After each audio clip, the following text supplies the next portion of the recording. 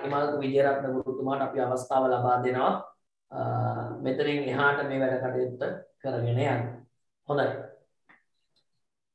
අයිබෝවන් දරුවනේ ඒ වගේම අයිබෝවන් ශ්‍රීමාල් දැඩිගම ආචාර්යතුමාට ඉතින් අද දවසේ ශ්‍රීමාල් දැඩිගම සර් සහ මම ඔබත් එක්ක සම්බන්ධ වෙන්නේ ඔබට අපේ ඉතිහාස විෂය නිර්දේශයේ ඉතා වැදගත් පාඩම් ඒකකයකින් අද සාකච්ඡාවක් අපි සිද්ධ කරනවා. ඇතරම ශ්‍රීමාල්ස සඳහන් කළා අපේ සාමාන්‍ය පෙළ ප්‍රශ්න පත්‍රයේ දෙවන ප්‍රශ්නය විදිහට තමයි මේ ප්‍රාග් සහ පූර්ව ඓතිහාසික යුගයන් පිළිබඳව රචනාමය ප්‍රශ්නයක් යොමු වෙන්නේ. නිසා මේ රචනා ප්‍රශ්නයට පිළිතුර ගොනු කරන්න ඔබ සතුව හොඳ සිද්ධාන්ත දැනුමක් තියෙන්නට ඕනේ. ඒ සිද්ධාන්ත දැනුම ලබා දීම තමයි මම මුල් කාල සීමාවේ මම සිද්ධ කරන්නේ. ඉන්පසුව මම අද වැඩි වෙලාවක් ගන්නේ නැහැ. මොකද ශ්‍රී මාදරිකමස ඉතාම වැදගත් කොටස් කීපයකට සම්බන්ධ වෙනවා. ඉන්පසුව අපේ සම්බන්ධ වෙන්න පුළුවන් පිරිසත් 500ක්. ඉතින් ඒ පිරිසට උපරිම සාධාරණ ඉෂ්ට වෙන්න මම ඉක්මනට මේ පාඩම් මේකකයේ පිළිබඳව පැහැදිලි කිරීමක් කරනවා. දරුවනේ දැන් අපි ශ්‍රී ලංකාවේ ප්‍රාග් ඉතිහාසය එහෙම නැත්නම් ශ්‍රී ලංකාවේ මේ ප්‍රාග් ඉතිහාසය අපි කියනවා ප්‍රී හිස්ටරි කියලා. ප්‍රාග් ඉතිහාසය කියලා කියන්නේ ලංකාවේ ප්‍රාග් ඉතිහාසය කියලා කියන්නේ ලිඛිත සාධක හමුවන්නට පෙර අවදී. හරිද? ලිඛිත සාධක හරි. දැන් අතරම මේ දැන් මේ මේ සංඛ්‍යාව ඇත්තටම 500යින් සම්බන්ධ වෙන්න පුළුවන්. මීට අමතරව සම්බන්ධ වෙන අයට YouTube හරහා සම්බන්ධ වෙන්නට පුළුවන්. ඔබට chat එකෙන් සමහරට බලා ගන්න පුළුවන් අපේ සදෙව් ඒ පිළිබඳව තොරතුරු ලබා දෙයි. ශ්‍රීමාල් දෙඩිගම සර් ඒ පිළිබඳව යම්කිසි පැහැදිලි කිරීමක් කරන්න බලාපොරොත්තු වෙනවද? නෑ මෙහෙමයි දැන් YouTube එක හරහා සම්බන්ධ වෙන්න වෙන්නේ ඒගොල්ලන්ට දැන් YouTube link එක අපි දාලා තියෙනවා. එය හරහා join වෙන්න කියලා යාළුවන්ට එක අවස්ථාවක් දෙන්න. හරි. ඔන්න එහෙනම් ඔබට පුළුවන් YouTube link එක හරහා සම්බන්ධ වෙන්න. සමහරට ඔබට ඒ පිළිබඳ තොරතුරු chat එක හරහා ලබා දෙයි. හරි. දරුවනේ එතකොට ප්‍රාග් ඉතිහාසය කියන්නේ ලිඛිත සාධක හමුවීමට පෙර අවදි. මේ අවධිය ගැන අධ්‍යයනය කරද්දී සාමාන්‍යයෙන් ක්‍රිස්තු පූර්ව 6 වන සියවසට පෙර අවදි. දැන් ලංකාවේ මහා වංශය පටන් ගන්නෙ දැන් මම ඔබට පෙන්නනවා මේ මහා වංශය. මේ මං අතේ තියෙන මහා වංශයේ පළවෙනි බෙලුම. මේ මහානා මහමුදුරුවෝ රචනා කරපු පාලි මහා වංශයේ පළවෙනි බෙලුම. දැන් මේ මහා වංශේ පළවෙනි බෙලුම පටන් ගන්නේ ක්‍රිස්තු පූර්ව 6 වන සියවසේ විජයාගමනේ ඉඳලා. එහෙනම් එතෙන් සිට ඉදිරියට ඉතිහාසය අධ්‍යයනය කරන්නට අපට හමු වෙනවා සාහිත්‍යමය සාක්ෂි. හැබැයි ඊට පෙර අවධිය පිළිබඳව අපි අධ්‍යයනය කරනවා නම් ඒ පිළිබඳව අපිට සාහිත්‍යමය සාක්ෂි ලැබෙන්නේ නැහැ. ඒ පිළිබඳව අපිට ලැබෙන්නේ දරුවනේ ද්‍රව්‍යමය සාධක. උදාහරණයට ගත්තොත් රළු ගල්ලායුධ ඊට පස්සේ අස්ති කොටස් ඊට පස්සේ පැරණි සුසාන වර්ග මෙවැනි වූ ද්‍රව්‍යමය සාධක තමයි අපිට හමුවන්නේ. එතකොට අපි මානව පරිණාමයේ වැඩිම කාලයක් මානවයා ගත කළේ ශිලා යුගයේ. එහෙම නැත්නම් ගල් යුගයේ. ඒතර දැන් මේ ප්‍රාග් ඉතිහාසය පිළිබඳව ලංකාවේ අධ්‍යයනය කරපු විශිෂ්ටතම විද්වතා තමයි ශිරාන් උපේන්ද්‍ර දර්ණියගල. මේ තියෙන්නේ ඔබට බලා ගන්න පුළුවන් මේ ශිරාන් උපේන්ද්‍ර දර්ණියගල මහත්මයාගේ ශිරාන් දර්ණියගල මහත්මයාගේ ප්‍රාග් ඉතිහාසය පිළිබඳව කරපු පර්යේෂණය. ඇත්තටම මේ අති විශාල පොතක්. මම මේ පොත උස්සන්නෙත් හරිම අමාරුවෙන්. මේ තමයි ශ්‍රී ලංකාවේ the the prehistory of Sri Lanka කියන කෘතිය. දැන් මේ පොත තමයි දරුවනේ ලංකාවේ ප්‍රාග් ඉතිහාසයේ පිළිබඳව අධ්‍යයනයන් සිද්ධ කරපු විශිෂ්ටතම ග්‍රන්ථය විදිහට අපි හඳුනාගන්නේ. ඉතින් මේ කෘතියේ එතුමා මේක ඉංග්‍රීසි භාෂාවෙන් එතුමාගේ ආචාර උපාධිය සඳහා රචනා කළේ. ඉතින් එහි දැක්වෙන තොරතුරු තමයි අපි ප්‍රාග් ඉතිහාසය අධ්‍යයනය කරද්දී වැඩි වශයෙන් භාවිතයට ගන්න. එතකොට දැන් අපි දන්නවා දැන් ප්‍රාග් ඓතිහාසික යුගය ගැන අධ්‍යයනය කරද්දී ප්‍රාග් ඓතිහාසික යුගය ගැන අධ්‍යයනය කරන්න අපිට ලැබෙන්නේ මම කිව්වා ඔබට ද්‍රව්‍යමය සාධක කියලා. ක්‍රිස්තුපුර 6 වන සියවසට පෙර අවධිය ගැන අධ්‍යයනය කරද්දී. එතකොට අපිට පුළුවන් දරුවනේ මේ ප්‍රාග් ඉතිහාසය ප්‍රධාන වශයෙන් කොටස් දෙකකට බෙදන්න. දැන් බලමු මම පෙන්වන මේ සටහන දිහා ඔබ අවධානය යොමු කරන්න. මේ සටහන පිළිබඳව අවධානය යොමු කරන්න දරුවනේ. හරි. දැන් බලන්න දරුවනේ මම මෙතන පෙන්වලා තියෙනවා ප්‍රාග් ඓතිහාසික යුගය හරි ලංකාවේ ප්‍රාග් ඓතිහාසික යුගය අපිට පුළුවන් කොටස් දෙකකට බෙදා ගන්න ඒ තමයි ශිලා යුගය සහ යකඩ යුගය කියලා. දැන් මේ ශිලා යුගය කියලා කියන්නේ ඒ අවධියේදී මානවයා ශිලා නැත්නම් ගල් භාවිතා කරලා තමයි ඔවුන්ගේ තාක්ෂණික මෙවලම් නිර්මාණය කරගන්නේ. හැබැයි ඉන් පසුව වුන් යකඩ ලෝහය හොයාගන්න. ඒ සොයා ගැනීමත් සමග ඒ යුගය අපි හඳුන්වන්නේ යකඩ යුගය කියලා. හැබැයි එයට අපි වචනයක් දෙනවා పూర్ව ඓතිහාසික යුගය කියලා. ඔන්න දරුවනේ අපි එයට කියනවා పూర్ව ඓතිහාසික යුගය කියලා. හරිද? ඉංග්‍රීසියෙන් අපි කියනවා proto history කියලා. proto history. ඔන්න proto history කියලා අපි මේ අවස්ථාව හඳුන්වනවා. පැහැදිලිද? එතකොට ශිලා යුගය එහෙම නැත්නම් ගල් යුගය ගත්තාම මේ ශිලා යුගය අපිට පුළුවන් දරුවනේ කොටස් දෙකකට බෙදා ගන්න. ඒ ඔවුන් භාවිතා කරපු තාක්ෂණය මත පදනම් වෙලා. ඔන්න අපි මේ තාක්ෂණය මත පදනම් වෙලා මේ ශිලා යුගයේ කොටස් දෙකකට බෙදා ගන්නවා. පළවෙනි අවස්ථාව పూర్ව ශිලා යුගය. දෙවෙනි අවස්ථාව මධ්‍ය ශිලා යුගය. හරිද? పూర్ව ශිලා යුගය, මධ්‍ය ශිලා යුගය. දැන් දරුවනේ මානව පරිණාමයේ මානවයා වැඩිම කාලයක් මෙන්න මේ ශිලා යුගයේ పూర్ව ශිලාවස්ථාවේ ගත කරා. උදාහරණයක් ගත්තොත් මානව පරිණාමයේ ඉඳලා අදින් වසර දසලක්ෂ 3ක විතර ඉඳලා මානවයා මේ పూర్ව ශිලා යුගයේ ගමන් කළා. పూర్ව ශිලා යුගය අපි අධ්‍යයනයේ පහසුව සඳහා කොටස් තුනකට බෙදනවා. පළවෙනි යුගය පහළ පුරා ශිලා යුගය. හරි? දෙවෙනි අවස්ථාව මධ්‍ය පුරා ශිලා යුගය. තුන්වෙනි අවස්ථාව ඉහළ පුරා ශිලා යුගය කියන්නේ. හරිද? ආපහු මම පැහැදිලි කරනවා. පහළ පුරා ශිලා යුගය, මධ්‍ය පුරා ශිලා යුගය, ඉහළ පුරා ශිලා යුගය කියන්නේ. දැන් දරුවනේ ලංකාවේ ප්‍රාග්මානවයා පිළිබඳව සාධක ලැබෙන්නේ මෙන්න මේ මධ්‍ය පුරා ශිලා යුගයේ. අපිට ඉහළ පුරා ශිලා යුගයේ සාධක ලැබෙන්නේ නැහැ. අපිට පහළ පුරා ශිලා යුගයේ සාධක ලැබෙන්නේ නැහැ. දැන් උදාහරණයක් ගත්තොත් පහළ පුරා ශිලා යුගයේ තමයි මානව පරිණාමය සිද්ධ වුනේ. ඔස්ට්‍රලෝපිතකස් ඇෆරන්සිස් මානවයාගේ ඉඳලා ඒ මානව පරිණාමයේ හෝමෝ හැබිලස් වගේ මානවයන් පිළිබඳව සාක්ෂි අපිට මේ යුගයේ ලංකාවෙන් හම්බ වෙන්නේ නැහැ. එතකොට මේ මධ්‍ය පුරා ශිලා යුගය කියලා කියන්නේ දරුවනේ මේ බලන්න අදින් වසර 125000ක විතර ඉඳලා අදින් වසර 75000ක් පමණ දක්වා කාලය තමයි අපි මධ්‍ය පුරා ශිලා යුගය කියලා හඳුන්වන්නේ. මේ මධ්‍ය පුරා ශිලා යුගයේ හිටපු මානවයා ඉන්පසුව පිවිසෙනවා මධ්‍ය ශිලා යුගයට. දැන් මෙතන අර පුරා කියන වචනේ නැහැ. හරිද? එය මධ්‍ය ශිලා යුගය. දැන් ඇත්තටම අපි මධ්‍ය ශිලා යුගය කියන්නේ අදින් වසර 40000ක ඉඳලා මේ පිටට කාලේ. මධ්‍ය ශිලා යුගය. මධ්‍ය ශිලා යුගයෙන් පසුව මානවයා ඊළඟට යමු වෙනවන්න పూర్ව ඓතිහාසික යුගය එහෙම නැත්නම් යකඩ යුගයට මානවයාව තීරණය වෙනවා. පැහැදිලිද?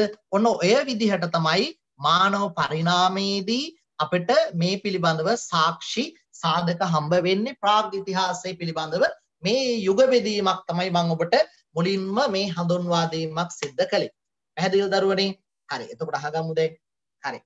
එතකොට එතකොට දරුවනේ මං කිව්වා పూర్ව ශිලා යුගයේ పూర్ව ශිලා යුගයේ අපට සාධක ලැබෙන්නේ අර මධ්‍ය පුරා ශිලා අවස්ථාවේ.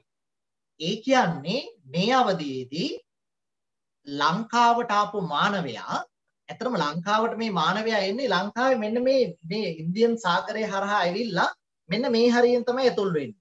හරිද? එතකොට දැන් උදාහරණයක් ගත්තොත් එහෙම පහළ පුරා ශිලා යුගයේදී ඔස්ට්‍රෝපිතකස් ඇෆරන්සිස්, හෝමෝ හැබිලස්, හෝමෝ ඉරෙක්ටස් ආදී වශයෙන් මානවයා පරිණාමයට ලක් වුණා. ඒතර මේ පරිණාමයේදී ක්‍රෝමැග්නන් කියන වර්ගයේ මානවයා ඉන්දියානු සාගරයේ හරහා ක්‍රමානුකූලව එයා මෙන්න මේ ප්‍රදේශයෙන් ලංකාවට ඇතුල් වීම සිද්ධ වෙනවා.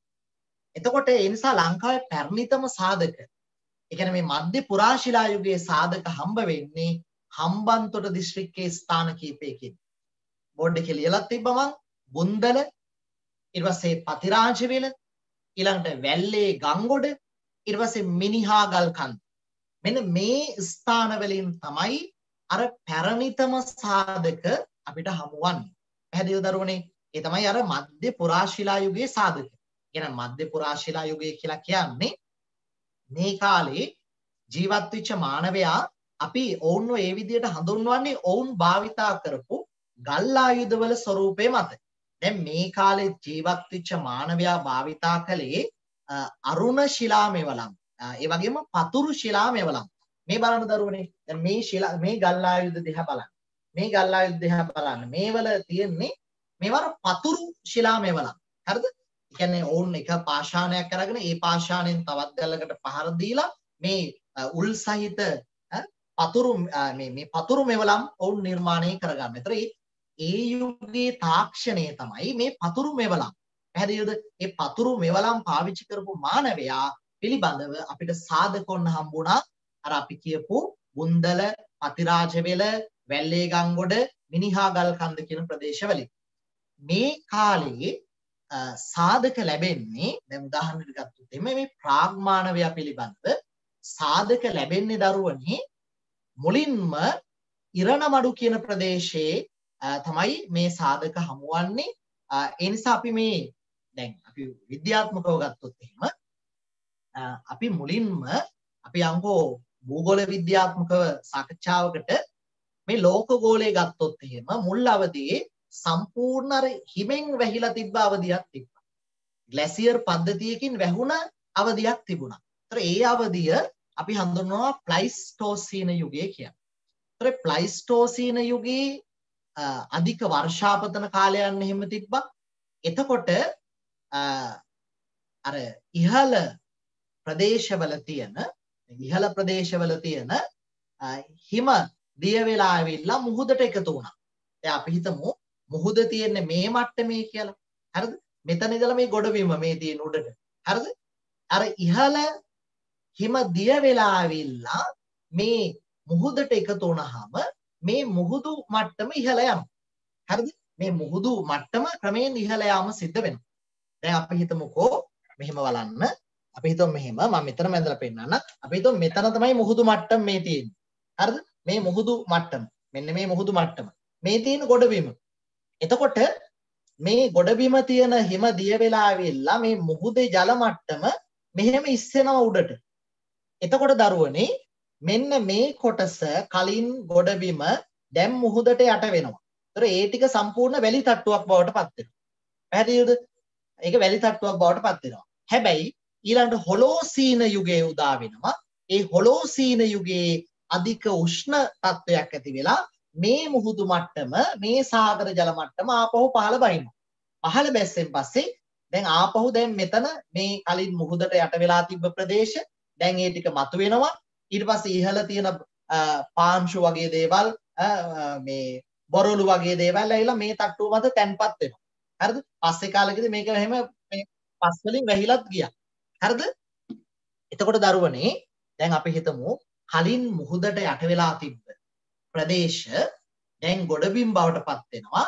ඉන් ඒ ඒ වැලි තට්ටුව මත බොරළු තට්ටු තැන්පත් වෙනවා.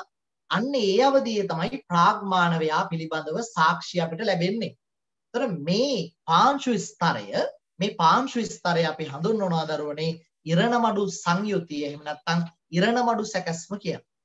ඒ ඉරණමඩු සැකැස්ම මුහුද අයිනේ ඇත්තම දැන් මේ පහළ භූමිවල මුහුද අයිනෙම මේ ඉරණමඩු සංයුතිය දක්නට ලැබුණා.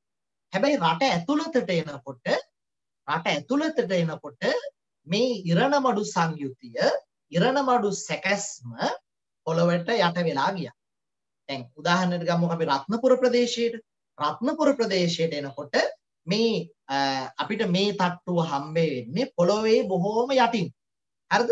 ඒ රත්නපුර වගේ ප්‍රදේශවල අපි හිනවා ඉල්ලම් කියලා එහෙම නැත්නම් මැණික් පතල් දැන් මේ මේ තියෙන වගේ ඉල්ලමක් හරිද මේ හරි right දැන් මේ දන මොන බලන්න රත්නපුර දිස්ත්‍රික්කයේ මැණික් කර්මාන්තයට ප්‍රසිද්ධයි මැණික් ගැරීම සඳහා හාරන ගැඹුරු වලවල් හෙවත් පතල් වලින් ප්‍රාග් ඓතිහාසික යුගයට අයත් වැදගත් සාක්ෂි සොයාගෙන තිබේ හරි අන්න මේ මේ සාක්ෂි මේ ඊටමත් වැදගත් සාක්ෂි අපිට හම්බ වෙනවා අර මැණික් පතල් වල මැණික් ගරනකොට එහෙම අර හම්බ වෙනවා අර වැලි තට්ටුව. හරිද? ඒ ඒ වැලි තට්ටුව සහ බොරළු තට්ටුව ඉරණමඩු සැකස්ම හම්බ වෙනවා. හරිද? එතකොට එයිනුත් මේ ප්‍රාග්මානවය පිළිබඳ සාක්ෂි ලැබුණා. එහෙනම් දරුවනේ අපිට මේ යුගයේ ප්‍රාග්මානවයා පිළිබඳව සාධක ලැබෙනවා පාරිසරික කලාප දෙකකින්. ඒ තමයි එකක් අර්ධ ශුෂ්ක කලාපේ නම් වෙරළාශ්‍රිත ප්‍රදේශවලින්. දැන් ඔය වැල්ලේ ගංගොඩ පතිරාජවෙල මිනිහාගල් කන්ද බුන්දල වගේ ගත්තාම මේ මුහුදයිනේ. හරිද? ඒ අර්ධ ශුෂ්ක කලාපේ. වෙරළාශ්‍රිත ප්‍රදේශ. ඔන්න ඔය කලාපය ඉර්ණවඩු පාංශු කලාපය කියලාත් අපි හඳුන්වනවා. ඒ ප්‍රදේශවලුත් සාධක ලැබෙනවා. ඊළඟට ගත්තාම රත්නපුර තෙත් කලාපයට අයිති ප්‍රදේශවල රත්නපුරාවට නිම්න ප්‍රදේශවලුත් මේ යුගයට අදාළ සාක්ෂි සාධක අපිට හම්බ වෙනවා. පැහැදිලිද? එතකොට දැන් මං ඔබට කීවා මේ ප්‍රාග් මානවයා ලංකාවට එන්නේ හරිද? හම්බන්තොට වගේ ප්‍රදේශවලින්. හරිද? මේ පැත්තෙන් මෙහෙම ඇතුල් වෙනවා. හරිද? මේ පැත්තෙන් මෙයා මෙහෙම ඇතුල් වෙනවා. ඇතුල් වෙලා වෙනස් පරිසර කලාපවලට මෙහෙම අනුවර්තනය වෙන්න පටන් ගන්නවා. හරිද? සාමාන්‍ය ඉර්ණමඩු සංයුත්තය කියලා අපි කියන්නේ පොළවේ වැලි සහ බොරළු මිශ්‍ර තද රතු පාංශු කලාපයකින් සමන්විත කොටසක් තමයි අපි මේ ඉර්ණමඩු සංයුත්තය කියලා හඳුන්වන්නේ. ඇත්තටම ඔය රත්නපුර පස් ස්තර ගත්තොත් එහෙම ඒ පස් ස්තර ප්ලයිස්ටෝසීන අවදී තැන්පත් කරපු තැන්පත් වෙච්ච පස් ස්තර තමයි මේ හම්බ වෙන්නේ. එතකොට ඒ අර මං කියපු අර මැණික් පතල් වලින් ඒතර ඒ වලින් අපිට හම්බ වෙනවා ඒ යුගයේ මානවයා භාවිතා කරපු පතුරු ගල් මෙවලම් ඒ වගේම ලංකාවේ ඉඳලා වඳ වෙලා ගියපු සත්තුන්ගේ අස්ති කොටස්. ඒ කාලේ හිටියා ගවරා කියලා හැම සතෙක්. විශාල ගවේ මේ ගවරා පිළිබඳ සාක්ෂි අපිට හම්බ වෙනවා මේ ප්‍රදේශවල රත්නපුරාවට ප්‍රදේශවල කැනීම් වලදී විශේෂයෙන් මේ ගවරාගේ සාධක හම්බ වෙනවා. ඒතර මේ වඳ වෙලා ගියපු සත්තු අපිට හම්බ වෙනවා. ඒතර අදින් වසර 125000ක් පැරණි සාධක යාල වනෝද්‍යානයේ බුන්දල පතිරාජ වලින් හම්බ වෙනවා. ඒ වගේම වසර 80000ක් විතර වගේ පැරණි ප්‍රාග් මානවයා පිළිබඳව සාධක වැල්ලේ ගංගොඩ ප්‍රදේශයෙන් අපට හම්බ වෙලා තියෙනවා. එතකොට දරුවනේ දැන් අර මං කියවනේ పూర్ව ශිලා යුගයේනේ පළවෙනි අවස්ථාව పూర్ව ශිලා යුගයේ ඉන්න මානවයා ඊට පස්සේ ගමන් කරනවා මධ්‍ය ශිලා යුගයට. ඇතරම එයා ඒ යුගයට අපි ඇතුළත් කරන්නේ ඔහුගේ තාක්ෂණයේ මත පදනම් වෙලා. ඔවුන්ගේ තාක්ෂණික يعني උදාහරණයක් ගත්තොත් එයාලගේ ගල් ආයුධ, අස්ති ආයුධ, ඒ ගල් ආයුධවල තාක්ෂණික ස්වરૂපේ ආදිය මත පදනම් වෙලා තමයි අපි මේ මානවයාව ඒ එක් එක් යුගයන්ට ඇතුළත් කරන්නේ. පැහැදිලිද? එතකොට මධ්‍ය ශිලා යුගය අපි කියනවා මෙසොලිතික් කියලා. අර පූර්ව ශිලා යුගයට අපි ඉංග්‍රීසි කියනවා පැලියොලිතික් කියලා. පැලියොලිතික් වලින් පස්සේ මානවය එනවා මෙසොලිතික්. එහෙම නැත්නම් මධ්‍ය ශිලා යුගයට. මධ්‍ය ශිලා යුගයේදී තමයි දරුවනේ අපිට මානව සාධක හම්බ වෙන්නේ. දැන් ඊට පෙර අවස්ථාවේ අපිට හම්බුණා මානවයා භාවිතා කරපු ගල්ලායුධ ඔහු ආහාරයට ගත්ත බෙල්ලන් විශේෂ වගේ දේවල් හම්බ වෙනවා. හැබැයි මේ මධ්‍ය ශිලා යුගයට එනකොට එයා මේ ප්‍රාග් මානවයා මේ වෙනකොට මෙන්න මේ රත්නපුර කෑගල්ල මේ අවට මේ මේ තෙත් කලාපීය ප්‍රදේශවලට මේ මානවයා දැන් සංක්‍රමණය වෙලා. එතකොට මධ්‍ය ශිලා යුගයේ මානවයා ජීවත් වුණා ප්‍රධාන ස්ථාන දෙකක. එකක් තමයි දැන් ඒ මධ්‍ය ශිලා යුගයේ මානවයා මෙන්න මේ වගේ ගල් ගුහා ඇතුළත ජීවත් වුණා. පැහැදිලිද? ඔබට මේ මම පෙන්නපු ගල් ගුහාව පුරුවිට බටදොමලෙන ගුහාව ඒ වගේම මේ යුගයේ මානවයා ගල් ගුහාවන් ඇතුලේ මේ ජීවත් වෙච්ච හැටි මේ උපකල්පිත චිත්‍රයක් ඔබට පේන්නේ ගල් ගුහාවන් ඇතුලේ වුන් කොයි වගේ ජීවත් වෙන්නට ඇද්ද කියලා උපකල්පනය කරලා ඇඳපු සිතුවමක් මම විශේෂයෙන් ආය කැමති මේ මානවයා ගල් ගුහාවලට අමතරව එයා විවෘත එලිමහන් ස්ථානවල ජීවත් වුණා. දැන් මේ බලන්නකො මේ රූපරාමු. දැන් බලන්න මේ මේ ගල් තලාවක් මතු පිට මේ මානවයා ජීවත් වෙනවා. తాවකාලිකව අර මේ එයාට ඉන්න තැනක් මේ මෙතන හදාගෙන తాවකාලිකව එතනට වෙලා මේ විවෘත එලිමහන් ස්ථානයක ජීවත් වෙනවා. පැහැදිලිද?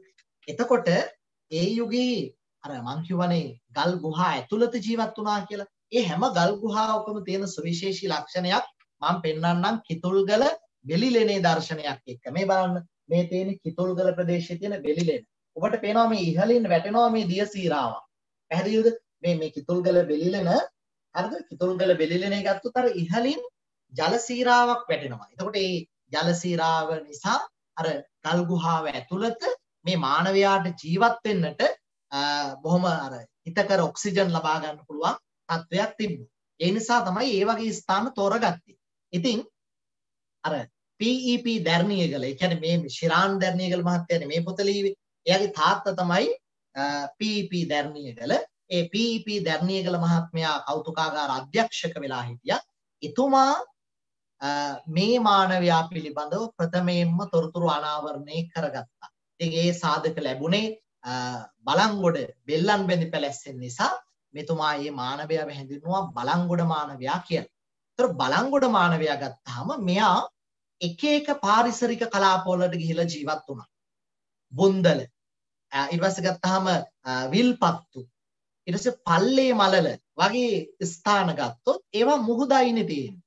එහෙනම් මේ යුගයේ මානවයා වෙර්ලාශ්‍රිත විවෘත ජනාවාසවලත් ජීවත් වුණා.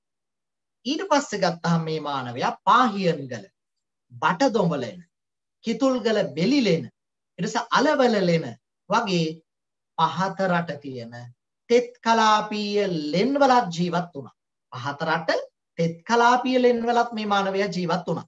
ඊට පස්සේ ගත්තහම මේ මානවයා පොතාන ඊට පස්සේ අලිගල වගේ වියලි කලාපීය ස්වභාවික ගල්ලෙන් වලත් ජීවත් වුණා. ඒවා තිබේ වියලි කලාපී. සීගිරිය අසලන තියෙන අලිගල සහ පොතාන. ඒතර මේ සීගිරිය වගේ පැතිවලටත් ගිහිලා මේ මානවයා අර මේ වියලි කලාපීය ප්‍රදේශවලත් ගල්ලෙන් වල ජීවත් වුණා. ඊට පස්සේ අපි ගමුකෝ බෙල්ලන් බැඳි පැලැස්ස. ඊට පස්සේ මාන්කුලම්, ඊට පස්සේ හුංගම, ඊට පස්සේ බණ්ඩාරවෙල, ඊට පස්සේ වැලිමඩ, නාවල මෙන්න මේ වගේ මධ්‍යම කඳුකරය ආශ්‍රිත ප්‍රදේශවලට ඇවිල්ලා ඒ ප්‍රදේශවල විවෘත දඩයම් ස්ථානවලත් මේ මානවයා ජීවත් වුණා. ඒ ස්ථාන අපි හඳුන්වන්නේ විවෘත දඩයම් ස්ථාන කියලා. හරිද? ඒ ප්‍රදේශවලට. එතන මධ්‍ය කඳුකර ප්‍රදේශය දක්වා මේ විද්දි මානවයා ඔය රත්නපුර පැත්තෙන් ඒ රත්නපුර පැත්ත හරහා මධ්‍ය කඳුකර ප්‍රදේශය දක්වා ගියපු සංක්‍රමණය වෙච්ච රටාවක් අපිට දක්නට ලැබෙනවා. ඊටත් අමතරව මේ මානවයා හෝටන් ටැන් ඊට පස්සේ නකල්ස් හරි හෝටන් ටැන් නකල්ස් වගේ ඉහළ කඳුකර තනබිම් ප්‍රදේශවලත් ගිහිල්ලා ජීවත් වුණා. දැන් ඔබට පැහැදිලි මධ්‍ය ශිලා යුගයේ මානවයා විවිධ පාරිසරික කලාපවලට අනුවර්තනය වෙමින් ජීවත් වුණා. දැන් ප්‍රාග්යිතිහාසික යුගයට අයිති රළු ගල් මෙවලම් රත්නපුර මැණික් පතල් වලින් මං කිව්වා වැඩි වශයෙන් හම්බ වෙනවා. ඒ හම්බෙන ශුද්‍ර ශිලා මේවලම්. දැන් අපි මේවා හඳුන්වන්නේ මේ ගල් ආයුධ අපි හඳුන්වන්නේ මෙන්න මේවා. දැන් බලන්නකෝ මේ ඒ යුගයේ මානවයා තව හදාගත්ත මේ ආයුධ. මේ මේ තියෙන ඔහුගේ ශුද්‍ර ශිලා මේවලම්. හරිද? මේවල ත්‍රිකෝණාකාර හැඩ තියෙනවා, චන්ද්‍රාකාර හැඩ තියෙනවා. ඒතර විවිධ ජාමිතික හැඩතල වලින් මේවා යුක්ත වෙනවා. විශේෂයෙන් ඔයාලා ඔය තිරුවානා අමුද්‍රව්‍යයක් විදිහට යොදාගෙන තමයි මේ ගල් ආයුධ නිෂ්පාදනය කළේ. තිරුවාන ගල් වලින් එයාලා මේ වගේ ගල් ආයුධ නිෂ්පාදනය කරගත්තා. දැන් මේ මධ්‍ය ශිලා යුගයේ මානවයාගේ ජීවන රටාවේ තිබ්බ ප්‍රධාන ලක්ෂණයක් තමයි දඩයම. ප්‍රධාන ලක්ෂණයක් ඔහුගේ දඩයම. ඒකට දඩයම් ජීවිතයක් ගත කරා සාමාන්‍යයෙන් ගත්තොත් එහෙම වර්ග කිලෝමීටර් 10කට විතර තනි පුද්ගලයෙක් ජීවත් වෙලා තියෙනවා. වර්ග කිලෝමීටර් 50ක් වගේ ප්‍රදේශයක න්‍යෂ්ටික පවුලක් විදිහට මේ යුගයේ මානවයා ජීවත් වෙලා තියෙනවා. ඒතර ඇත්තම වියලි කාලවලදී විවෘත ස්ථානවල తాවකාලිකව අටවගත්ත හඳ උරුවල මේ මානවයා ජීවත් වුණා. ඒ වගේම කවුරු හරි මේ දැන් ඔන්න විභාගෙදී අහන්න පුළුවන් මේ යුගයේ අවිචාර විදි. දැන් බලංගොඩ මානවයා පුද්ගලයෙක් මිය ගියොත් එහෙම එයාගේ ශරීරය කැලයට විසි කරලා දාලා ඒ මස් ටික දිය වෙලා ගියන් පස්සේ අස්ථි ටික ගෙනල්ලා Taman ජීවත් වෙන ගල් ගුහාවේ ඇතුළතම වල දාලා තියෙනවා. දැන් ඔය කිතුල්ගල බෙලිලෙන කරපු කැණීම් වලදී ඒ වගේ මිහිදම් කරපු ඇටසැකිලි 12ක් විතර කියන්නේ පුද්ගලයෝ 12 දෙනෙක් විතර ඇටසැකිලි හම්බෙලා තියෙනවා. මේ යුගයේ මානවයා ආහාරයට ගත්ත විවිධ සත්තු. ඌරා, ඉත්තෑවා, ගෝනා, මුවා, ඊට පස්සේ තලගොයා, වඳුරා, ඊට වලි කුකුලා. මෙන්න මේ වගේ සත්තු මේ බලංගොඩ මානවයා ආහාරයට ගත්තා. ඒ විතරක් නෙමෙයි යාලා හරි ආහාරයට ප්‍රිය වුණා මිරිදිය මසුන්ට. ඉබ්බන්, ඊට පස්සේ කකුළු, ඊට පස්සේ පක්ෂි වර්ග විශේෂයෙන්ම බෙල්ලෝ විශේෂ කීපයක් අනුභව ආහාරයට ගත්තා. ඒ අර ගස්කොළු බෙල්ලෝ ඊට පස්සේ මුහුදු බෙල්ලෝ මේ බෙල්ලෝ අර ගින්නට එහෙම දාලා අර උල් ගල් ආයුධයකින් බෙල්ලක එක තැනක් සිදුරු කරලා ඒ ඇතුළත ඉන්න බෙල්ලා මේ මානවයා ආහාරයට අරගෙන තියෙනවා. විශේෂයෙන්ම බලංගොඩ මානවයා පිෂ්ඨයේ බහුල ආහාර මේ අනුභව කරලා තියෙනවා. ඇටි කෙහෙල්, කටුවල, ගෝනාල, මී පැණි වගේ දේවල් මෙයාගේ ප්‍රියතම ආහාර වුණා. දැන් ඔය ඊට පස්සේ ගත්තොත් එහෙම මේ ප්‍රාග්ෛතිහාසිකයෝගේ මානවයා දැන් අපි කතා කරානේ මලසිරුරු වල දැම්ම එහෙම කොහොමද කියලා. විශේෂයෙන්ම මේ පාහියන්ගල සහ රාවණායල්ල ප්‍රදේශයේ කරපු කැනීම් වලදී හම් වෙලා තියෙනවා. ඒ මානවයා අභිචාර විදිහක් විදිහට මියගිය පුද්ගලයන්ගේ හිස් කබල් අරගෙන ඒ හිස් කබල් වල රතු පාට රතු ගුරුගල් ආලේප කරලා තියෙනවා අපිට හම්බ වෙනවා. දැන් මේ යුගයේ ගත්තොත් සාමාන්‍ය බලංගොඩ මානවයාගේ පිරිමි මානවයෙක් ගත්තොත් සෙන්ටිමීටර 174ක් විතර පමණ උසයි. කාන්තා මේ මානවයෙක් ගත්තොත් සෙන්ටිමීටර 166ක් විතර උසයි. දැන් ඇත්තටම මේ මේ මානවයාගේ භෞතික මානව විද්‍යාත්මක ලක්ෂණ දිහා බැලුවොත් එයාගේ ඇත්තටම අපිට පේනවා මේ මේ නලල් තලය පසුපසට නිරා ගිහිල්ලා තියෙනවා. ඒ වගේම ප්‍රමාණයෙන් විශාල චාර්වක සහ පුරස්චාරවක දත් දක්නට ලැබෙනවා. දැන් දකුණු ආසියාවේ පැරණිතම මානව සාධක දරුවනේ හොයාගෙන තියෙන්නේ ලංකාවෙන්. සාමාන්‍යයෙන් බලංගොඩ මානවයෙක් වයස අවුරුදු 30ක් 35ක් විතර වගේ තමයි ජීවත් වෙලා තියෙන්නේ. මේ මධ්‍ය ශිලා යුගයෙන් පස්සේ මානවයා පූර්ව ඓතිහාසික නැත්නම් ප්‍රොටෝ හිස්ටරි කියන අවස්ථාවට ගමන් කරනවා. ප්‍රොටෝ හිස්ටරි නැත්නම් පූර්ව ඓතිහාසික කියන්නේ දරුවනේ ප්‍රාග් යුගයත් ප්‍රාග් ඓතිහාසික යුගයත් ඓතිහාසික යුගයත් අතර තියෙන සංක්‍රාන්තික අවස්ථාවක්. දැන් මේ සංක්‍රාන්තික අවස්ථාවට අපි ආවොත් එහෙම සාමාන්‍ය ක්‍රිස්තු පූර්ව 5000 විතර ඉඳලා ක්‍රිස්තු පූර්ව 1800 විතර වගේ වෙනකම් අවදී අපි හඳුන්වනවා මේ පූර්ව ඓතිහාසික යුගය කියලා. ඒ යුගයට අයිති සාධක හම් වෙනවා දොරවක, කොතාන, අලිගල වගේ ස්ථාන වලින් හම් වෙනවා. දැන් පූර්ව ඓතිහාසික යුගයට එනකොට මානවයා මැටි වලන් භාවිතා කරලා තියෙනවා ශාකමය වගාවන් කරලා තියෙනවා එතන ආහාර පරිභෝජනය ගැන යාලා දැනගෙන ඉඳලා තියෙනවා. ඒ විතරක් නෙමෙයි ඔවුන් ස්ථිර ජනාවාස ඇති කර ගැනීම. ඒ වගේම යකඩ නිස්සාරණය කිරීම. ඔන්න ඒ කාලේ මේ මානවයා දැනගෙන හිටියා යකඩ නිස්සාරණය. ඒ වගේම මැටි බඳුන් නිපදවීම මැටි බඳුන් නිපදවීම ඒ විතරක් නෙමෙයි ගෘහස්ත ගව සහ ගව පාලනය වගේ දේවල් වී වගාව වගේ දේවල් මේ යුගයේදී මානවයා දැනගෙන ඉඳලා තියෙනවා. දැන් ඔය කෑගල දිස්ත්‍රික්කයේ වරකපුල ආසන්නයේ තියෙන දොරවක කන්දෙන් හම්බෙච්ච මේ කැනීම් වලදී වළං කටු, ධාන්‍ය ඇට වර්ග මේ වගේ දේවල් හම්බ වුණා. ඉතින් ස්ථිර වාසස්ථාන හදාගෙන ස්ථිර වාසස්ථාන වලට පැමිණීම පිළිබඳව අපිට මේ යුගයේ සාධක හම්බ වෙනවා.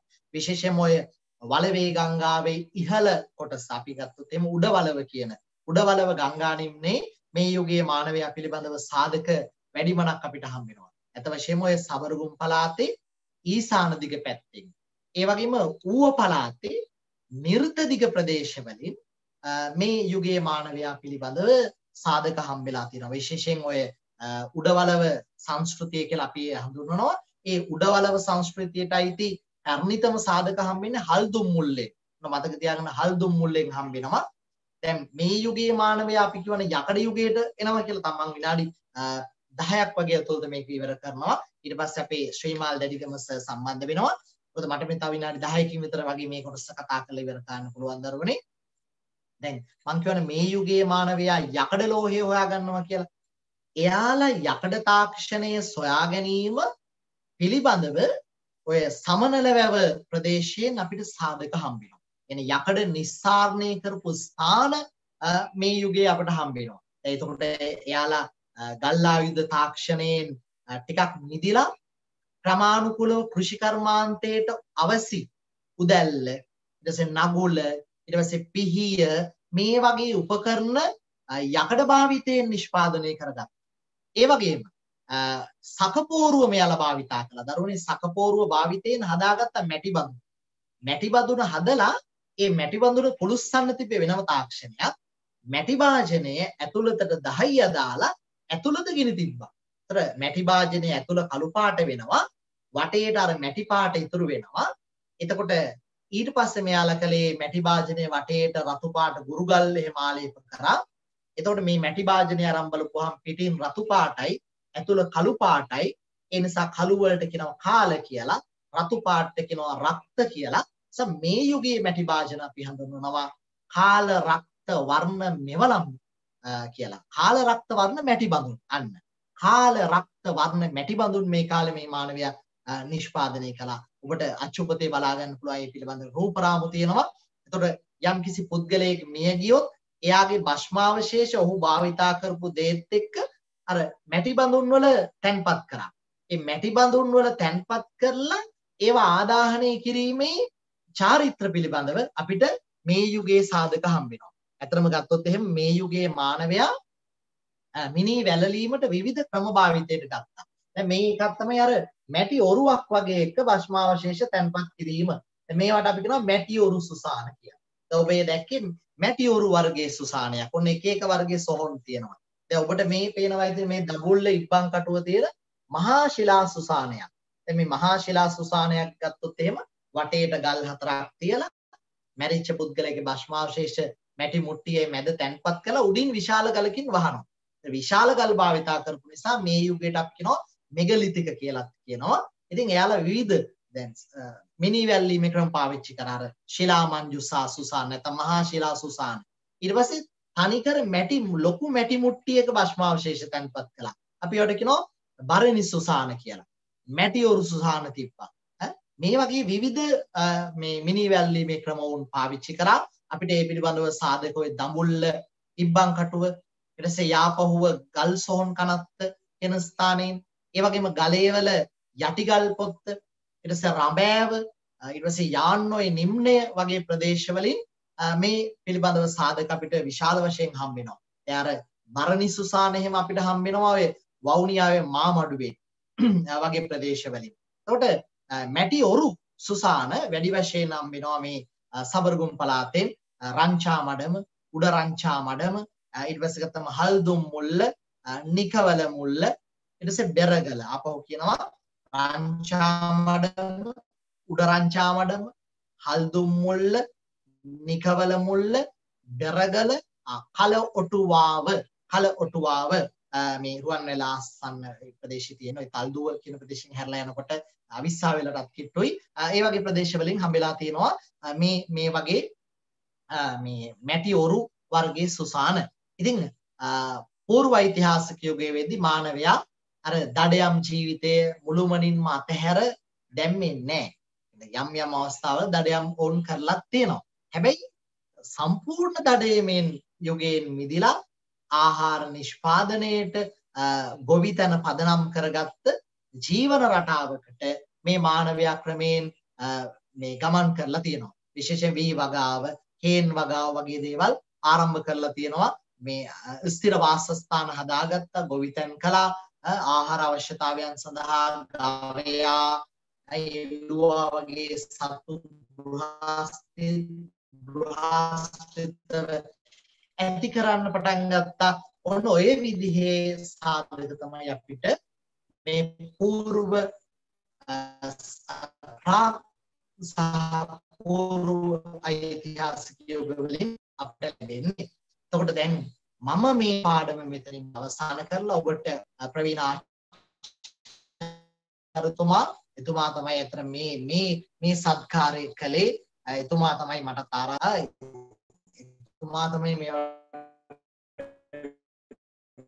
දම් කරගෙන මේ සමස්ත කාර්යය දරදියා දෙන්නේ එතුමා. එතුමාට ස්තුතිවන්ත වෙමින් අපේ ඉතිහාස ගුරුතන්ට සුබ රාත්‍රියක් ප්‍රාර්ථනා කරමි. ස්තුතියි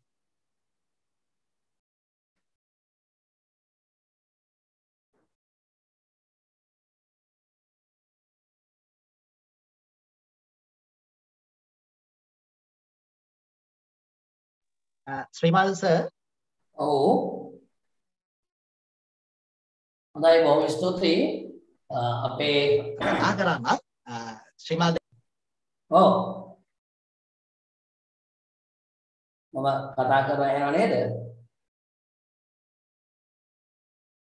ඔව් සර් ඇහෙනවා ඇහෙනවා ඕකේ හරි එහෙනම් බොහොම ස්තුතියි අපේ ආචාර්යතුමා මෙතෙක් සෑහෙන කාල පරිච්ඡේදයක් තුල ඉඳගෙන අපේ දරුවන්ට නොමිලේම තමන්ගේ තියෙන ශිල්පීය දක්ෂතාවය අත්දැකීම් සියල්ල අපිත් එක්ක බෙදා ගන්නවා. ඉතින් මේ සියලු දේවල් වල ප්‍රතිඵල අපි ඔයගොල්ලන්ට ළඟා කර කර ලබා ගන්න කියලා ආරාධනා කරන ගමන් එතුමාට බොහොම ස්තුතිවන්ත වෙන ගමන් අපි සූදානම් මෙතනින් පස්සේ ඔයගොල්ලන්ට ඉතාම වැදගත් වෙන විශේෂිත ප්‍රශ්න කීපයක් සාකච්ඡා කරගෙන යන්න. ඉතින් අපි මෙතනට සම්බන්ධ වෙමු. හැමෝම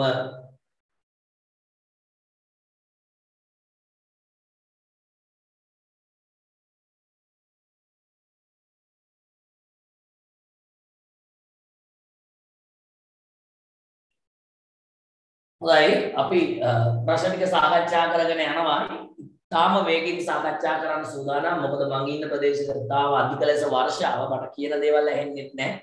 right වංශත්ත ප්‍රකාශනයේ කවර වංශ කතාවකට ලියන ටීකාවක්ද?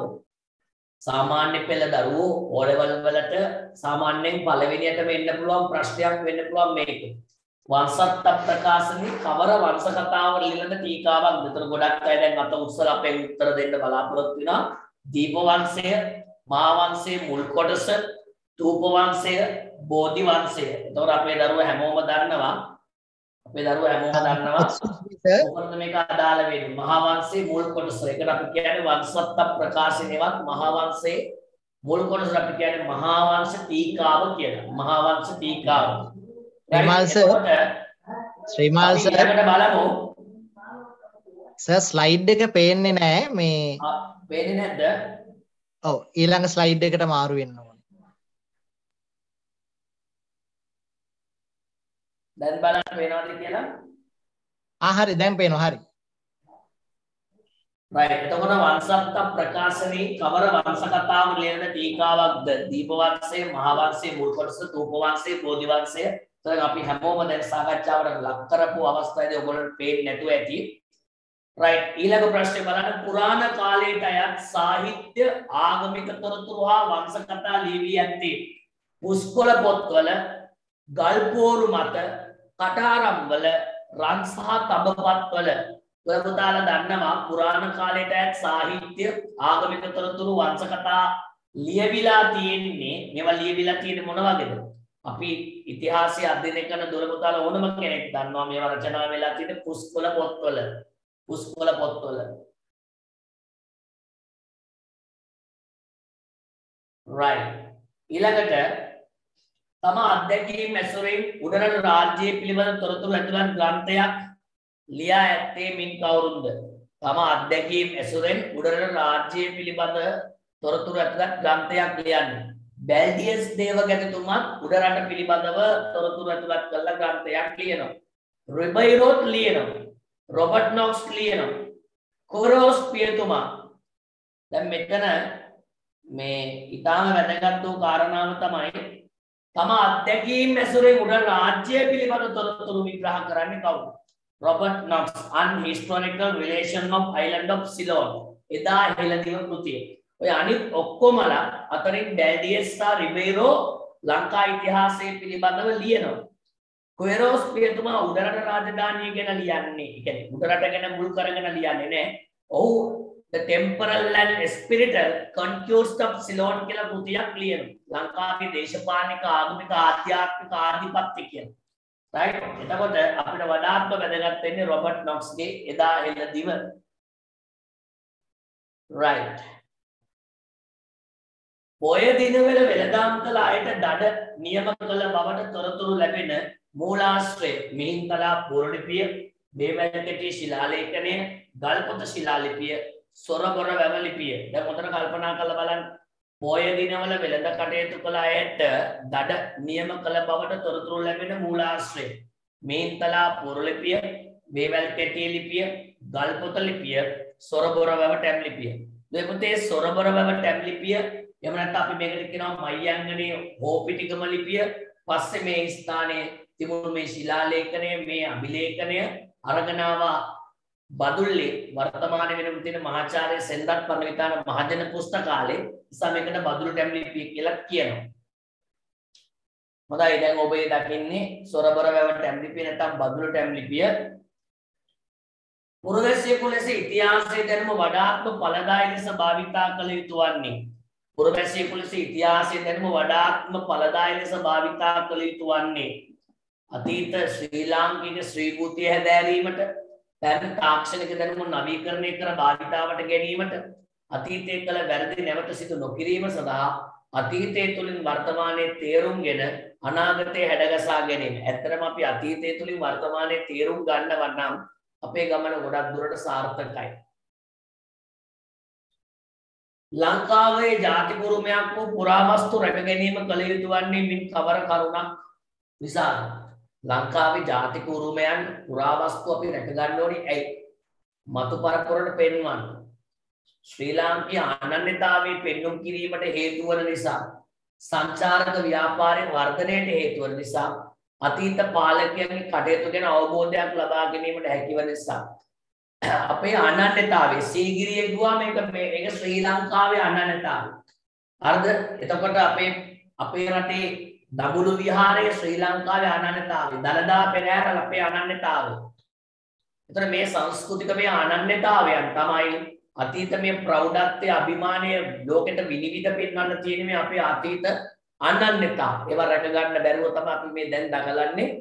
ප්‍රාග්ධෛතිහාසික යුගයට ගල්මෙවනම් ලැබී ඇති පතිරාජල ප්‍රදේශයේ ඉරණමඩු සැකස්මට අයත් පස්තට්ටුව කාල නිර්ණය අනුව වසර කොච්චරද? හොඳට මතක තියාගන්න පතිරාජය වෙන ලංකාවේ ප්‍රාග්ධෛතිහාසික යුගය හා සම්බන්ධ පැරණිතම සාධක ලැබෙන අපිට පතිරාජවලින් රයිට් පතිරාජල අදින් අවුරුදු කොච්චරක් පැරණිද අදින් අවුරුදු 125000ක් පැරණි සාධක අපිට ලැබෙන්නේ පතිරාජවලින් 80000ක් පැරණි බවට සාධක අපිට ලැබෙන්නේ අවුරුදු 80000ක් පැරණි බවට සාධක අපිට ලැබෙන්නේ කොහෙද? බුන්දල වැල්ලේ ගංගොඩ.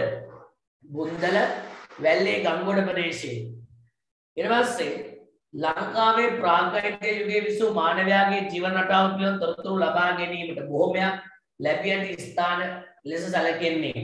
ලංකාවේ ප්‍රාග් යුගයේ විසූ මානවයාගේ ජීවන රටාව පිළිබඳ තොරතුරු ලබා ගැනීමට තොරතුරු ලැබී ඇති ස්ථානයක් ලෙස සැලකෙන්නේ. දැන් මෙතනදී රීතිගල කියන ස්ථානයේ කදුරුගොඩේවත් කන්තරෝඩය පාහියංගල කතරගම ඔය ස්ථාන හතර හොඳට බලාගන්න.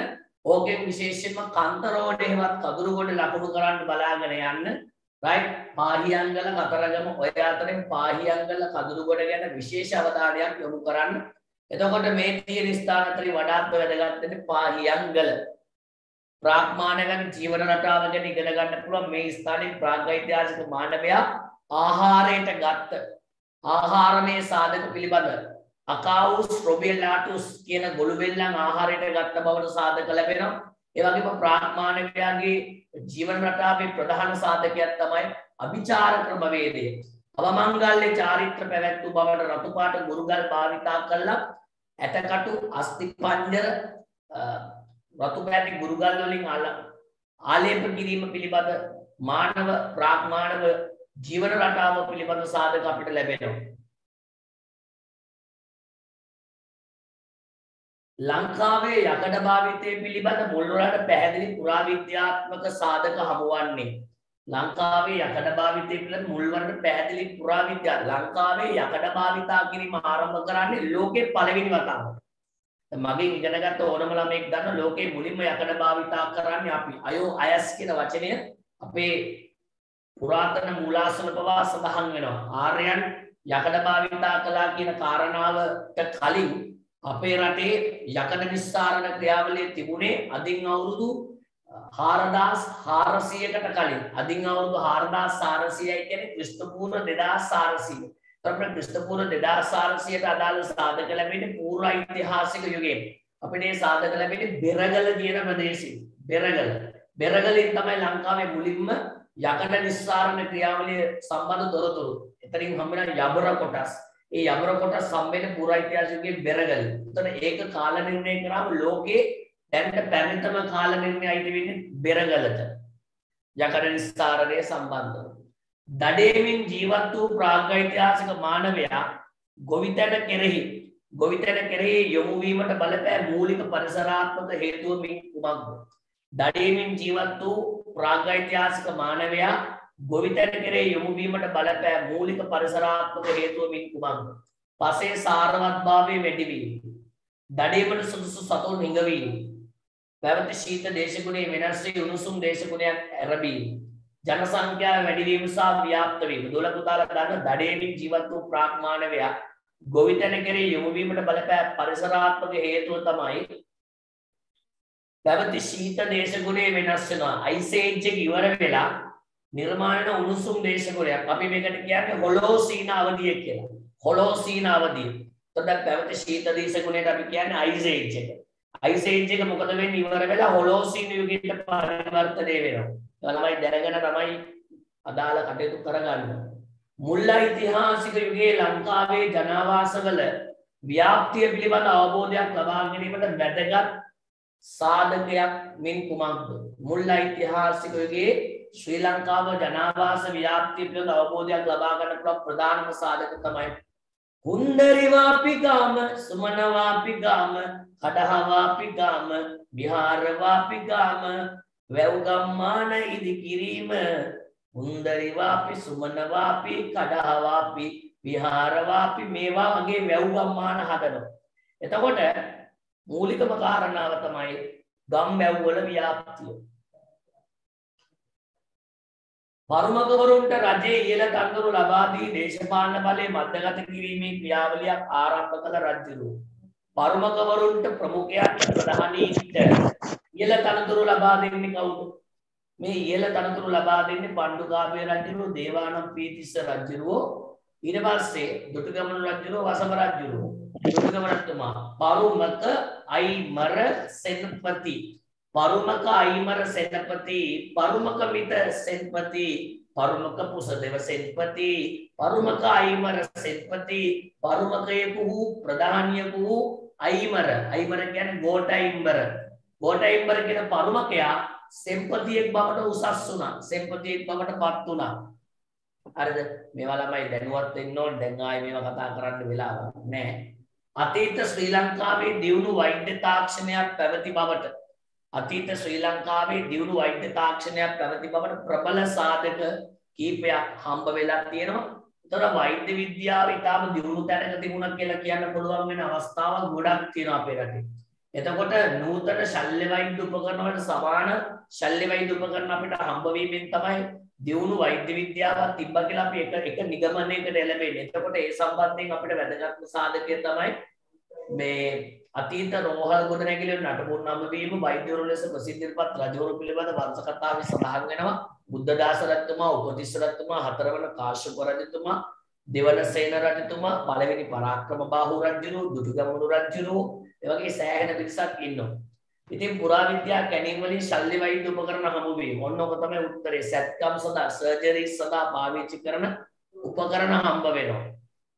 ස්ථාන කීපයකින්ම අමුණු මැද දිගු දුරකට ඇල මාර්ග මගින් ජලය ගෙන යාම සඳහා යොදාගත් ගංගාව මින් කුමක්ද? ස්ථාන කීපයකින්ම අමුණු බැඳලා අමුණු බැඳලා දුරකට ඇල මාර්ග මගින් ජලය ගෙන යන යොදාගත්ත ගඟ. ඔය කියන්නේ මොකක්ද? මේ කියන්නේ පුතා අඹංගඟ හරස් කරලා අලිසාර අමුණ හෙවත් ඇලෑර අමුණ හදලා එතනින් වතුර ටික අරගෙන යනවා මින්නේරියට මින්නේරියෙන් කවුඩුල්ලට එතනින් ගිරිතලයට ගිරිතලෙන් කන්තලයට. ඔය ඔක්කොම ටික තියෙන පුතා මහවැලි ගංගාව තමයි පාදක කරගන්නේ. අඹංගඟ කියන්නේ මහවැලි ගඟේ අතු ගංගාව. හරි. තෙවරක්ම මෙරට පාලනය කළ රැජින. රැජිනමමයි රැජිනමමයි අපේ රාජ්‍යයේ. රැජිනමමයි රැජිනමමයි අපේ රාජ්‍යයේ. තුන් පාරක් රජ වෙනවා. කොහමද? එක පාරක් රජ වෙච්ච කෙනෙක් දෙපාරක් තුන් පාරක් රජ වෙනවා නම් එයා ඉතා දුර්වල පාලකෙක්. රයිට්? ලීලාවතී රජිනී. පරාක්‍රම බව රජතුමාගේ මිසිස්. පළවෙනි පරාක්‍රම බවගේ මිසිස්. ඉතින් කීර්තිසේ නිශ්ශංකමල්ල රජතුමා තමාගේ ශිලාලිපි බොහොමයක භාවිතා කර රාජ්‍යත්වය පිළිබඳ සංකල්පය. ගල කොතනද නිශ්ශංකමල්ල එතන. නිශ්ශංකමල්ල කොතනද ගල එතන. ලංකාවේ සෙල්ලිපි නම් නිශ්ශංකමල්ල. ඉතින් දේවත්තේ බෝධිසත්ව පරතරාජ චක්‍රවර්ති. චක්‍රවර්ති කාලිංග ලංකේශර චක්‍රවර්ති ස්වාමින් වහන්සේ. කාලිංග ලංකේශර චක්‍රවර්තී ස්වාමින් වහන්ස මෙම ඔළුවට යන්න ඕනි ඔළුවට යන්න ඕනි අතීතයේ ගව්වයට විනුම භාවිතා කරන්නේ කාලය මනින්න පාවිච්චි කරන්නේ ගව්ව දුරමනින ඒකකයක් ගෞත කණු ගෞත කණු.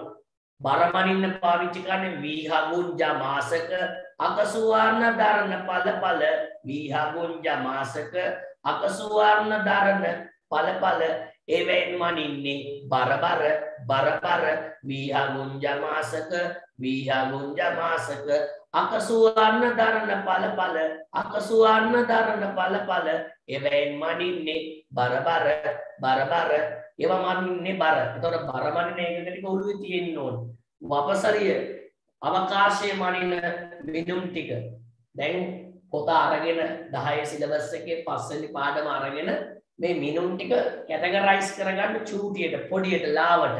රයිට් එතකොට පුතා ගව්ව කියලා කියන දුර මනින ඒකකයක් දිගු දුර මිනුමක්. දකපති දක කියන්නේ ජලය පති කියන්නේ බද්ද. දකපති උදක බක උදකපති උදක බක උදකපති උදක බක උදකපති දකපති මේක තමයි. වැව්වල වතුරෙන් ගත්ත බද්ද. එතකොට මේක ටැක්ස් එක ඇවිල්ලා ජල බද්දක්. ඒ කියන්නේ මේක ජල බද්දක් රයිට් වැවේ වතුර ටික අරන් ගොවිතැන් කරනවා රජයට බද්දක් ගෙවන්න ඕන. හරි? කොහොමද ඒක? ඉහත පහත ප්‍රකාශය සලකන්න විශේෂයෙන්ම හොඳටම අවධානය යොමු කරන්න මෙන්න මේ ප්‍රශ්නේ දිහා රචනා ස්වභාවයටත් යන්න ඊට පස්සේ. නගර නිර්මාණයේ ජාමිතික සැලසුම් ආකෘතියෙන් මිදී නිදහස් ස්වරූපයකට පරිවර්තනය වීම නගර මහා පරිමාණ ස්වරූපයක් පෙන්නුම් නොකිරීම කුඩා ප්‍රමාණයේ රාජධානී. හරිද? ඊට පස්සේ ජාමිතික සැලසුම් ආකෘතිය වෙනකොට මේ ජාමිතික සැලසුම් ක්‍රමය වෙනුවට නිදහස් ස්වරූපයක ගලක් උඩ ගල් පර්වතයක් උඩ රජමාලිගාව හදාගත්තා. රයිට් මෙහෙම ඉහත ප්‍රකාශය සම්බන්ධ නගර යුගලයේ වන්නේ මේකට අදාළ නගර යුගලයේ තමයි ජාමිතික සැලසුම් ආකෘතියෙන් විදී නිදහස් ස්වරූපයකට පරිවර්තනය වෙන්නේ දඹදෙනිය සහ යාපවුව. දඹදෙනිය සහ යාපවුව. ඓතිහාසික සිදුවීම් කීපයක් පහතින් දක්වා ඇත. ඓතිහාසික සිදුවීම් කීපයක් පහතින් දක්වා ඇත. පන්සිය පනස් ජාතක කතාපොත සිංහලයට පරිවර්තනය කිරීම කුරුණෑගල යුගයේදී සිද්ධ වෙන්නේ මේ සිදුවීම පහතින් දැක්කෙන මේ වගේ අනුපිළිවෙල තමයි අපෙන් අහන කුරුණෑගල යුගයේ. උඩරට සාමන්ත පාලකයා ජෝතිය සිටුවරයා කැරල්ලක් ඇති කිරීම. රයිට් අරාබි ජාතික ඉබන් බතුතා ලංකාවට පැමිණීම චන්ද්‍රබානු ලංකාව ආක්‍රමණය කිරීම. ළමයි ඔගොල්ලෝ මෙන්න මේ සිද්ධි ටික තියෙනවානේ. මේ සිද්ධි ටිකේ 550 ජාතක කතා පොත සිංහලයට පරිවර්තනය කිරීම. ඒක ඒකනේ. ඒක ලියා ගන්න 1300 දෙකයි. 1326යි හරිද? ඊට පස්සේ උඩරට සාමන්ත පාලක ජෝතිය සිටුවරගේ කැරල් ඇතිවීම B. ඒක 1462 C. චන්ද්‍රබානු ලංකාව ආක්‍රමණය කිරීම 1247යි 1261යි ඊළඟට ඉබන් බදුදා ලංකාවට පැමිණීම D.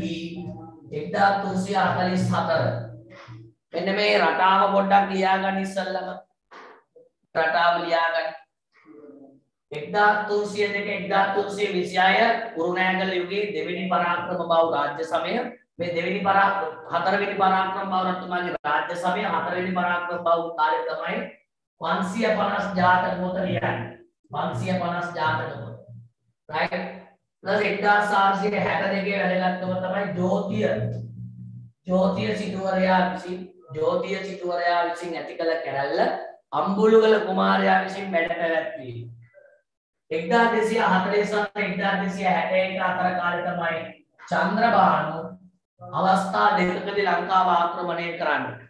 අවස්ථා දෙකකදී චන්ද්‍රබානු ලංකාව ආක්‍රමණය කරන්නේ. ඊළඟට 1344 ඉබන් බතුතා ඉබන් බතුතා ලංකාවට එනවා හතරවන බෝනක බව රජතුමාගේ කාලෙදි ගම්පොළ යුගයේදී. මේක ගම්පොළ මේක ගම්පොළ මේක නවදෙනිය ජෝතිය සිටුවරයා කෝට්ටේ. මේක කුරුණෑගල යුගය. ඒක හොඳට මතක තියාගන්න ඕනේ. හරි. දැන් අපි යන් අපේ වැඩේට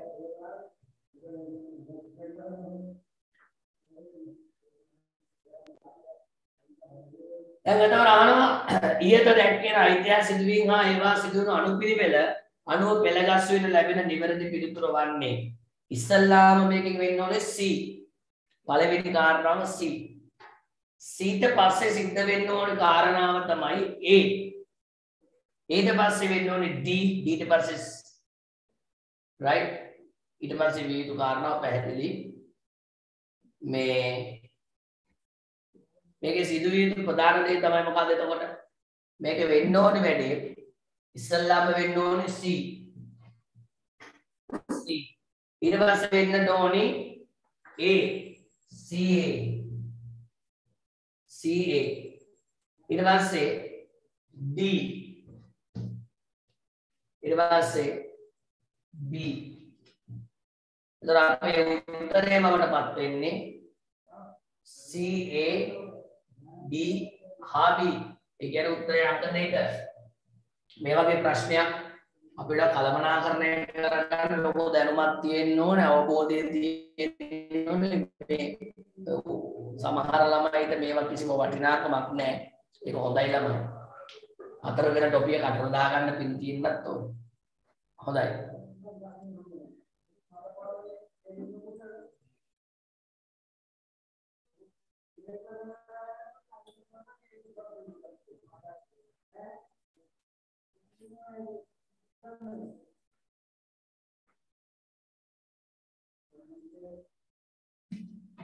ඓතිහාසික සිදුවීම් කිහිපයක් පහතින් දක්වා ඇත.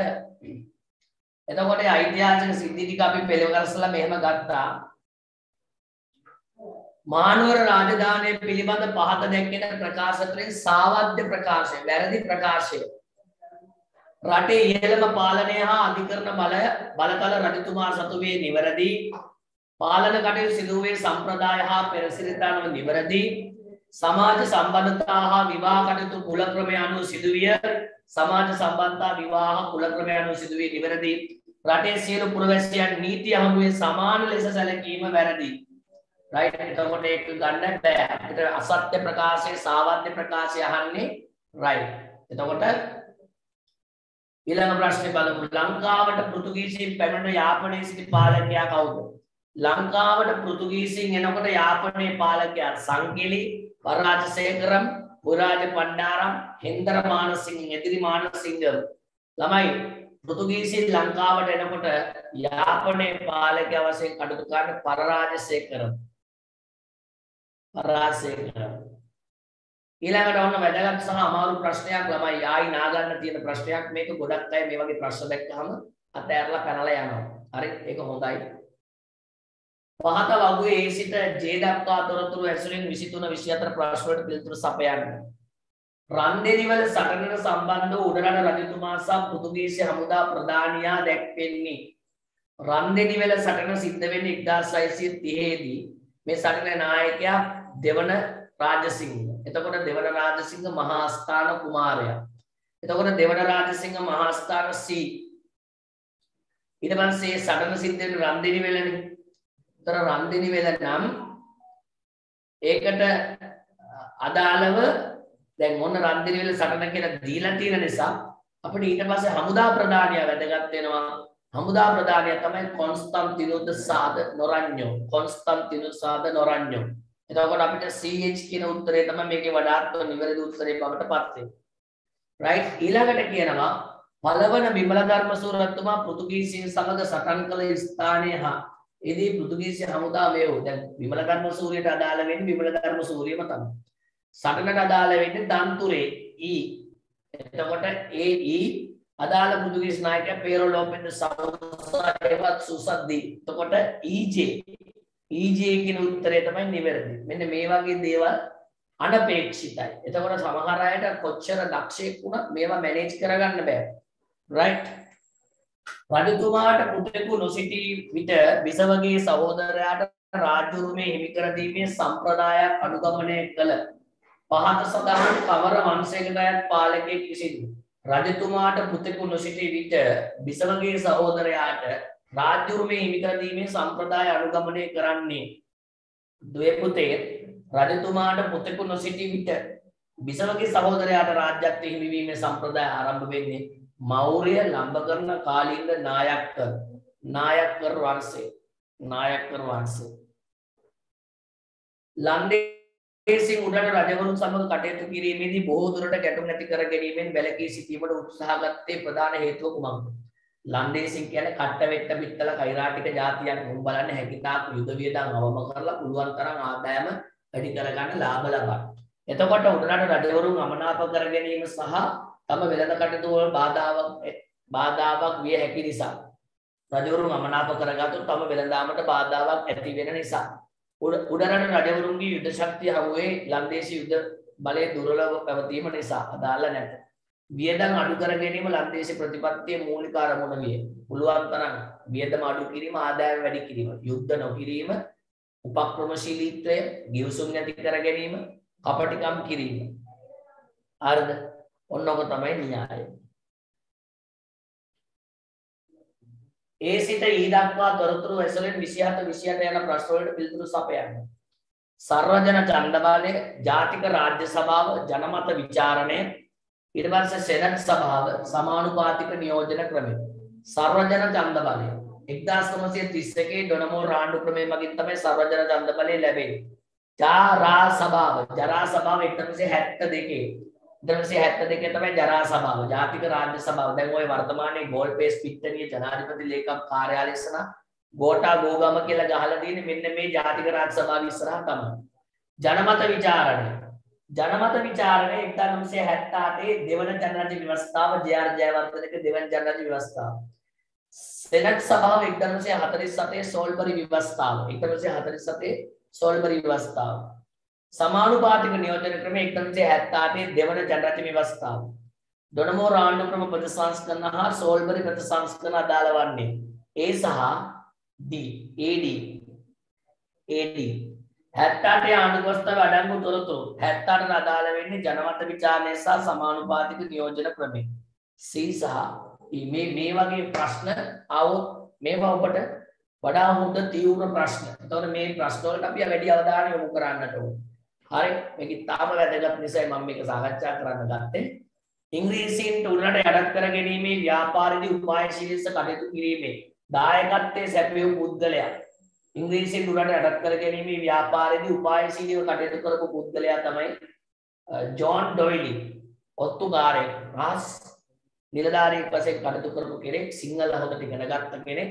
ඒ වගේම විශේෂයෙන්ම මේ කරතොට ධර්මාරාම හාමුදුරුව යටතේ අධ්‍යාපනය හදාරලා සංස්කෘත සිංහල පාලි ඉගෙනගත්ත බ්‍රොන්තෙක් අපිට සෑහෙන හොඳ මූණ පෙන්වාට යටින් ගින්දර දුන්න විදිහ තමයි. ශ්‍රී ලංකාවේ බිහි වූ පැරණිතම දේශපාලන පක්ෂය. ලංකාවේ පැරණිතම දේශපාලන පක්ෂය තමයි ලංකා සම සමාජ පක්ෂයේ ආචාර්ය ඇන්.එම් පෙරේරා මහත්තයාගේ එන්එම් පෙරේරා කොල්ලින් ආදසිල්ලා පිළිම් ගුණවර්ධන එස්.ඒ. වික්‍රමසිංහල තමයි මේ පක්ෂය හදන්නේ පස්සේ මේ පක්ෂේ කට්ටිය ඔක්කොම එකතු වෙලා කඩාගෙන යනවා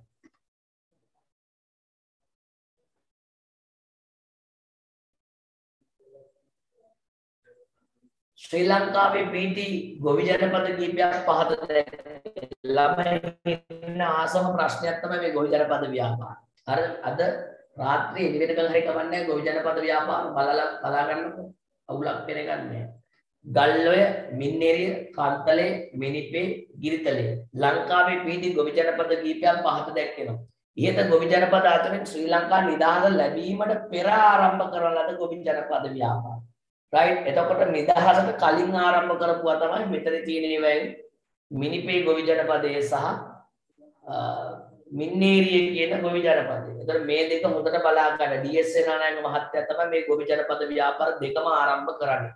නිදහස ලැබීමට පෙර. ඔය අනිත් ඒවා ගල්ලොය, කන්තලේ, ගිරිතලේ, බත්මැඩිල්ල ඒවා ඔක්කොම නිදහස ලැබීමෙන් පස්සේ. ඕල්කට්තුමා අනගාරික ධර්මපාලතුමා ආරුමුක නාවලතුමා සිද්ධිලිප් වෙන පුද්ගලයන් විශේෂයි. ඒගොල්ලෝ තමයි අපේ රටේ ආගමික අධ්‍යාපනික පුනරුදේ සඳහා මූලිකත්වය ගත්තේ. හරිද? ආගමික අධ්‍යාපනික පුනරුදේ සඳහා මූලිකත්වය ගත්තේ මේගොල්ලෝ. එතකොට අවධානය යොමු කරලා බලන්න. නිශ්චිත ඉලක්කයක් ඇතුව ප්‍රශ්න දිහා බලන දරුවෝ මේවා දන්නවා. මේ පින්තූරත් විශේෂයෙන්ම හොඳට බලා ගන්න. මධ්‍යතන යුගයේදී යුරෝපයේ ඇරබි පුනරුදය නිසා විවිධ ශේෂ්ත්‍රවල බොහෝ වෙනස්කම් සිදුවිය. ලියනාඩෝ ඩාවින්චිගේ ප්‍රසිද්ධියට පත් වූයේ මින් කවර ශේෂ්ත්‍රයක්ද? මේ අතරින් ලියනාඩෝ ඩාවින්චි ප්‍රසිද්ධියට පත් වෙන්නේ. ළමයි දැන් වෛද්‍ය විද්‍යාවට අදාළ නැහැ ඩාවින්චි. චිත්‍ර කලාවට නම් අදාළයි. දේශ ගවේෂණයට අදාළ නැහැ. සාහිත්‍යයට අදාළත් නැහැ. ඩාවින්චි අදාළ වෙන්නේ චිත්‍ර මූර්ති කියන ශේෂ්ත්‍රවලට. කියන්නේ කලාව කියන එක තමයි අයිති වෙන්නේ. ඔය ඉන්නේ ඩාවින්චිගේ මොනාලිසා. මේ තමයි ලාස්ට් සෆර් අවසාන රාත්‍රී භෝජන සංග්‍රහය. ලාස්ට් සෆර් එක. විවිධ සොයා ගැනීම් කරන පුද්ගලයන් කීප දෙනෙකුගේ නම් පහත දැක්වේ. සැමුවෙල් මොස් මොස් පණිවිඩ ක්‍රමේ ටෙලිග්‍රාෆ් සිස්ටම්. රොබර්ට් පුල්ටන් දුම්බෝට්ටු 1807 දී ඇමරිකන් ජාතික රොබර්ට් පුල්ටන් දුම්බෝට්ටුව හම්ප්‍රි ඩේව් ද සේෆ්ටි ලෑම් ආරක්ෂක ලාම්පුව ගුග්ලි එල්මෝ මාකෝනි මාකෝනි ඔහු නිර්මාණය කරන්න රේඩියෝ තරංග ජෝන් මැකඩම් 1814 මැකඩම් සිස්ටම් එක 1811 මැකඩම් සිස්ටම් එක මහා මාර්ග ඉදිකිරීම ඊට පුද්ගලයන් අතරින් කාර්මික සමය sannivedana සොයා ගැනීම කරන්න Samuel Morse and Google Elmo Marconi. AD කියන උත්තරය තමයි මේකේ වඩාත්ම නිවැරදි. A සහ D. කාර්මික විප්ලවය සහ වර්ධනය වූ සමාජ ප්‍රතිඵලයක් දැක්වෙන පිළිතුර තෝරන්න. කාර්මික විප්ලවය සහ වර්ධනය වූ සමාජ ප්‍රතිඵල. උදා මේකේ අහන දේ හොඳට බලන්න සමාජ. ආර්ථික අහන්න පුළුවන් දේශපාලන කොට කියන්නේ සමාජ. ළමයි ප්‍රධානම දේ තමයි භාණ්ඩ හා සේවා ලාභයටත් ඉක්මනටත් මහ පරිමාණයෙන් සැපීමට හැකියි. භාණ්ඩ හා සේවා ලාභය කියනවා නම් ඒක ආර්ථික සාධකයක්. බහුජාතික ව්‍යාපාර කියනවා නම් අනිවාර්යෙන් ආර්ථික සාධකයක්. රයිට් මූල්‍ය සහ බැංකු කියනවා නම් ආර්ථික සාධකයක්. එහෙනම් මම පුතාලට තේරෙන්න ඕනේ. සමාජ විපර්යාසයට අදාළ වෙන නාගරිකකරණය. අර්ධ නාගරිකකරණය. ඒ කියන්නේ ගොඩනැගිලි කළු නිවාස මුඩුක්කු පැල්පත් නිවාස සංකීර්ණ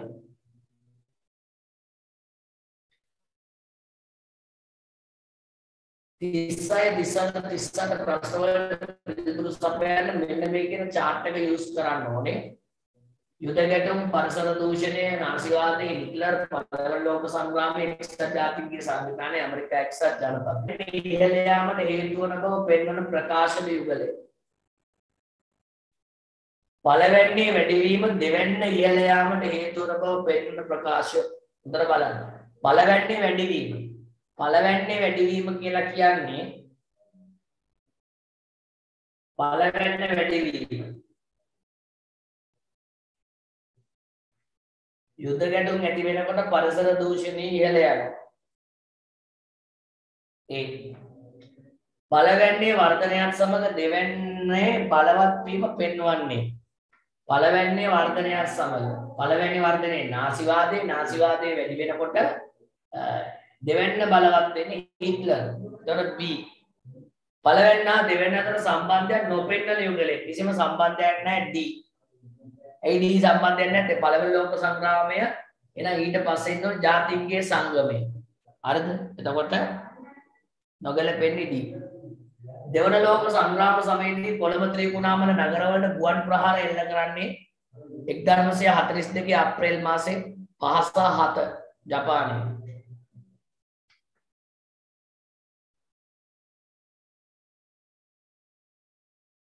අර අවසාන කාලේ මතක ඇති. කියුෂිෂිකෝකු හොන්ෂි හොකයිඩෝ කියුෂිෂිකෝකු හොන්ෂි හොකයිඩෝ කියුෂු ශිකෝකු හොන්ෂු හොක්කයිඩෝ කියන දූපත් එකතු වුණාම තමයි ජපානය කියන රට හැදෙන්නේ. රයිට්? හොඳට බලා ගන්න. ජපානය නොබෙදි ජාතීන්ගේ සංවිධානය පිහිටුවීමට මූලිකත්වයෙන් කටයුතු කළ දකුණු ආසියානු රාජ්‍ය නායකයා. නොබෙදි ජාතීන්ගේ සංවිධානය හදන්න මාර්ෂල් ටිටෝ සම්බන්ධ වෙනවා. නේරුතුමා සම්බන්ධ වෙනවා.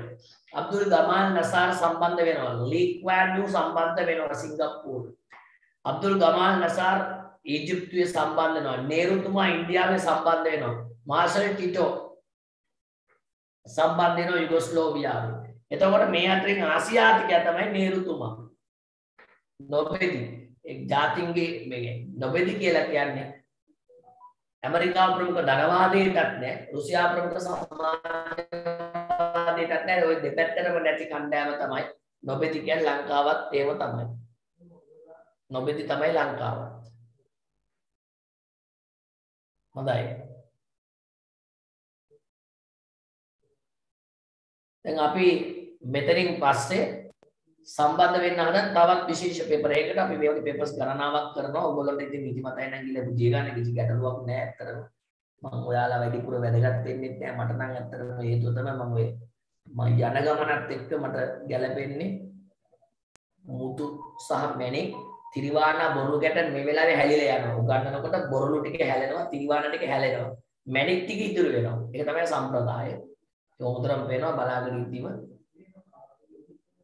අවබෝධයක් නැති බෞතරයක් ඉන්නවා.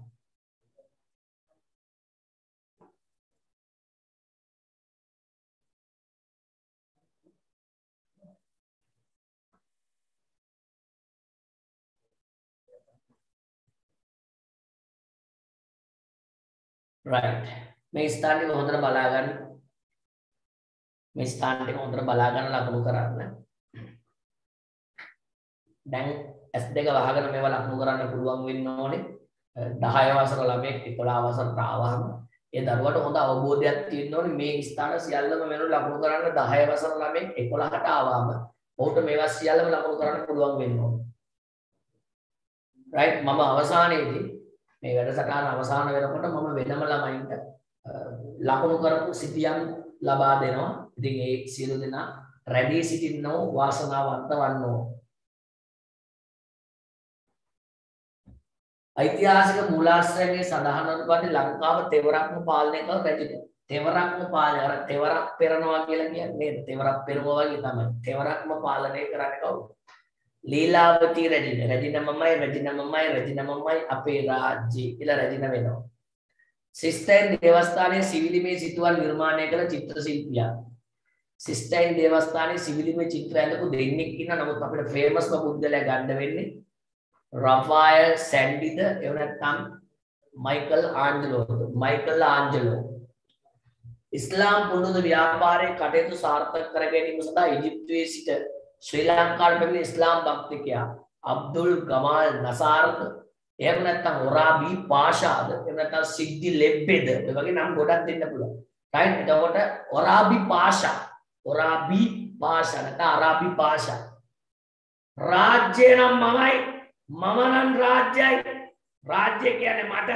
දැඩි ඒකාධිපති නායකයෙක් හිටියා 14 වන ලුවි 14 වන ලුවි රජු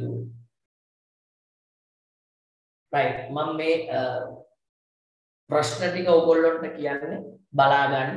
මම උත්තර කියලා දෙන්න යන්නේ නැහැ. මොකද මම තව පේපර්ස් දෙකක් ඔයගොල්ලන්ට ස්ක්‍රීන් එකේ පෙන්නන්න යන්නේ. රයිට් මේ පින්තූරයත් හොඳට බලන්න. මේ පින්තූරේ නාවත් මේ පුද්ගලයා ගැන බෙනිටෝ මුසෝලිනි ගැන අවධානය යොමු කරන්න. රයිට්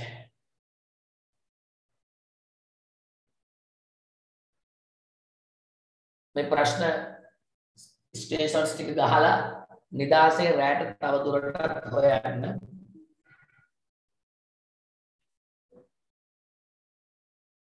මේ විශේෂ අවධානයක් යොමු කළ යුතු තැන් කීපයක් මම පස්සේ කියන්නම්. එතකොට ඒ අවශ්‍යතාවයන් වලට ප්‍රමුඛත්වය දෙන්න විභාග ලියන කොළවල උත්තර ලියන්න පුරුදු වෙන්න හැමතිස්සෙම මහාවංශයේ සඳහන් වාපිගාම තුනක්. උන්දරි වාපිගාම, සුමන වාපිගාම, කඩහ වාපිගාම, විහාර වාපිගාම පාත සඳහන් රාජ්‍යත්ව සංකල්ප ගැන හොඳ අවධානයක් යොමු කරන්න. නරේශ්වර ආලක මන්දාධිපති දේවත්ව චක්‍රවර්ති. හරිද නරේශ්වර සංකල්පයේ කූටකන්න තිස්ස දේවත්ව සංකල්පයේ මහසෙන්රතුමා ආලක මන්දාධිපති අලකප බුලි කසපු ආලක මන්දාධිපති කුවරා කාශ්‍යප රජතුමා බලවන කාශ්‍යප චක්‍රවර්ති විශ්ෂංකමල්ල රජුරෝ රයිට් විජයබාහු රජතුමා වසප රජතුමා විජයබාහු වසප කියන රජවරු දෙදෙනා ගැන වැඩි අවධානයක් යොමු කරන්න විජයබාහු සහ වසප රජතුමා පිළිබඳ වැඩි අවධානයක් යොමු කරන්න දැන් ශ්‍රී ලාංකික සමාජයේ වාරික සහජීවනයේ 10 ශ්‍රේණියේ හතරවෙනි පාඩමට ගිහිල්ලා 10 ශ්‍රේණිය හතරවෙනි පාඩම පැරණි සමාජ all society මේ පාඩමේ තියෙන වාරික සහජීවනය කියලා කොටසක් එක දෙපාරක් කියව ගන්න.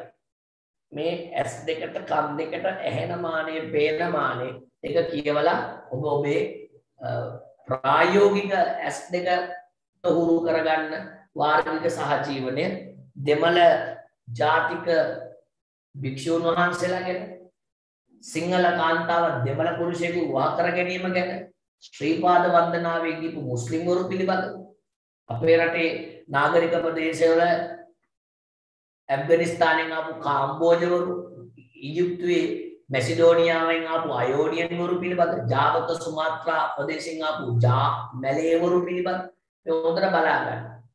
අපි ඕන්ට මේ රටේ අල්ලගෙන පහර දුන්නා කියලා කොහෙවත් සඳහන් වෙලා නැහැ. හරි. පහත දැක්කෙන කාර්යයන් ඉටු කර ගැනීම සඳහා කරලද නිර්මාණ පිළිවෙලින් නම් කරන්න ඕනේ. ජලතරංග වලින් වැව් බැරුම සේන්දියාව වළක්වන්නේ රළපනාව. සලපනාව රළපැන්වීම. වැවකින් ජලය පිටතට මුදා හරින්නේ පිටවාන ගංගාවක ජලය වෙනතකට හැරවීම සඳහා ඉදි කළ දැම්ම අපි එකට කියන්නේ ගංගාවක ජලය වෙන වෙනතකට හැරවීම සඳහා ඉදි කළ දැම්ම. මොකක්ද මේකට කියන්නේ? ගංගාවක ජලය වෙනතකට හැරවීම සඳහා ඉදි කරපු බැම්ම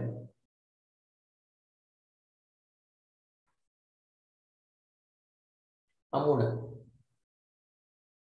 එතකොට වාද සඳහන් තොරතුරු අදාළ උපකරණ නම් කරන්න. පදම් කළ මැටි වලින් භාණ්ඩ සාදා ගැනීම. පදම් කළ මැටි වලින් භාණ්ඩ සාදා ගැනීම. උපකරණ අහන්නේ සකපෝරු උස් ගොඩනැගිලි අකුණු අනුතුරු වලින් වළක්වා ගැනීමට භාවිතා කරන්නේ මොනවද? ඒ තමයි වජ්‍ර චුම්බටය. අචල ජල විද්‍යා මූලධර්මයට අනුව ස්වංක්‍රීය තෙල් පාලනයේ සිදුවීම. ඇත් පහන. යකඩ නිස්සාරණය කිරීම. ඒකට අදාළව යකඩ නිස්සාරණය කිරීමට අදාළ වන උපකරණය. ඒකට අදාළ වන උපකරණයට අපි කියන්නේ එකක් අපිට ගන්න පුළුවන් මේ මයිනහම ගන්න පුළුවන්. අනික තමයි සුළං බලෙන් ක්‍රියා කරන සමනන වැව උදුන.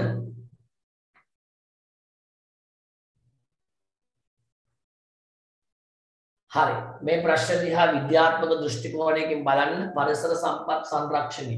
පෞද්ගලික කාලේ අපේ රටේ ඔක්සිජන් වාතය ඕනේ කිව්ව මට්ටමට මිනිස්සු පරිවර්තනය වෙලා හිටියා. රයිට් වල් වල දඬුපත් නොකපනු නිසා කැලෑවේ ගස් කොළන් කපන්න එපා. වල් වල දඬුපත් නොකපනු නිසා කැලෑවේ ගස් කොළන් කපන්න එපා. තුන්වන උදයගේ බුද්ධන්නේ හෙළ සෙල්ලිපිය. තුන්වන උදයගේ බුද්ධන්නේ හෙළ සෙල්ලිපිය. මේ මේවා දාලා මේ උත්තරේ ලියන්න ඕන. හරි? මේවා දාලා ලියන්න උත්තරේ ලියන්න දැනුම තියෙන්න. වාස්තු විද්‍යාව අනුගමනය කිරීම රුවන්වැලි මහා සෑයේ අතිවාරම ගැන. රයිට්? ඊට පස්සේ අපේ රටේ මේ වාස්තු විද්‍යාත්මක ක්‍රම අනුගමනය කර ඇති බව කරුණු තුනකින් පෙන්වන්න කියලා කියනවා. රයිට්? එතකොට විශේෂ අවධානයක් යොමු කළ යුතු පැතිකඩවල් තුනක් හොයා ගන්න ඕනේ. හරිද හොඳට බලා ගන්න මේ ප්‍රශ්න දෙක විශේෂයෙන්ම ඔබ දැන් ওই දකින ප්‍රශ්නේම හොඳට බලා ගන්න. ඔබ දැන් ওই දකින ප්‍රශ්නේම වඩා වැඩිපුර බලා ගන්න. විශේෂයෙන්ම මේකට පොඩි කෑල්ලක් මම එකතු කරනවා. එකතු කරන වැඩිපුර කෑල්ල තමයි වැඩිපුර එකතු කරන කෑල්ල තමයි දුවේ පුතේ මේ මහනුවර රාජධානිය කන්දෝඩරට රාජධානිය පෘතුගීසින් අවස්ථා ගණනාවකදී ආක්‍රමණය කළා. ඔවුන්ට මේ කන්දෝඩර රාජධානිය යටත් කර ගැනීමට කිසිසේත්ම නොහැකි වීම. ඒ කෙරේ බලපෑවේ ඒ කෙරේ බලපෑවේ කන්දෝඩර රාජධානිය තුළ පිහිටි ගිරදුර්ග වනතුරුග ජලදුර්ග වගේ ආරක්ෂිත භූගෝලීය පිහිටීම. ඒ වගේම තමයි ජනතා පක්ෂපාති නිරන්තරයෙන් ලැබීම. ඒ වගේම පොඩි අවධානයක් යොමු කරලා උත්තරේ හොඳට බලන්න. රයිට් මම මම වෙනම දැන් මෙතන ඉන්නවා විවිධ දරුවෝ ඉන්නවා 10 වසර ළමයි ඉන්නවා 11 වසර ළමයි ඉන්නවා සමහර විට මෙවර විභාගෙල ළමයි ඉන්න පුළුවන්. එතකොට මම දීලා තියෙන ප්‍රශ්න පත්‍ර ගණනාවක් තියෙනවා. හැම ගෲප් එකකටම දාලා තියෙනවා මගේ ෆයිනල් පේපර්ස් එක. ඒතොර ඒවැය තියෙනවා මේ අදාළ ප්‍රශ්න. ඊට පස්සේ ඒවැය උත්තර ටික වෙනම සාකච්ඡා කරමු YouTube link එකක් වෙනම තියෙනවා. ඒවා බලලා අධ්‍යාපනයේ ආධාරව දරුවෝ ඒවා ප්‍රයෝජනයක් ගන්න ඕනේ. ඒවා හදාරන්න අය පිස්සු කිලියට ඉතින් අපිට කරන්න දෙයක් නැහැ. right විශේෂයෙන්ම මේ දෙවන නාගරිකකරණය පිළිබඳව දඹදිනේ ආපහු කුරුණෑගල ගම්පොළ රාජධානී ආර්ථිකය ගැන බලන්න. දෙවෙනි පරාක්‍රම බව රජුගේ පිළිබඳ විශේෂ අවධානයක් යොමු කරන්නට ඕනේ. අපි වාර විභාග වලට උත්තර ලියනකොට දෙවෙනි පරාක්‍රම බව රජු නිතරම එනවා. පළාත් වාර විභාග වලට උත්තර ලියන දෙවෙනි පරාක්‍රම බව වෙනවා. right එතකොට හය වෙනි පරාක්‍රම බව දෙවෙනි පරාක්‍රම බව ගැන විශේෂයෙන්ම බලා ගන්න ඕනේ. චන්ද්‍රබානු පරාජය කිරීම කාලිංග මාර්ග පරාජය කිරීම ඒ වගේම විශේෂයෙන්ම 6 වෙනි පරාක්‍රම බහුල ලංකාව අවසන් වතාවට එක්සේසත් කිරීම මේ කියන කාරණා ටික ඇතුලේ හොඳ පුළුල් මහන්සියක් දරාගෙන යන්න ඉල්ලීමක් කරනවා.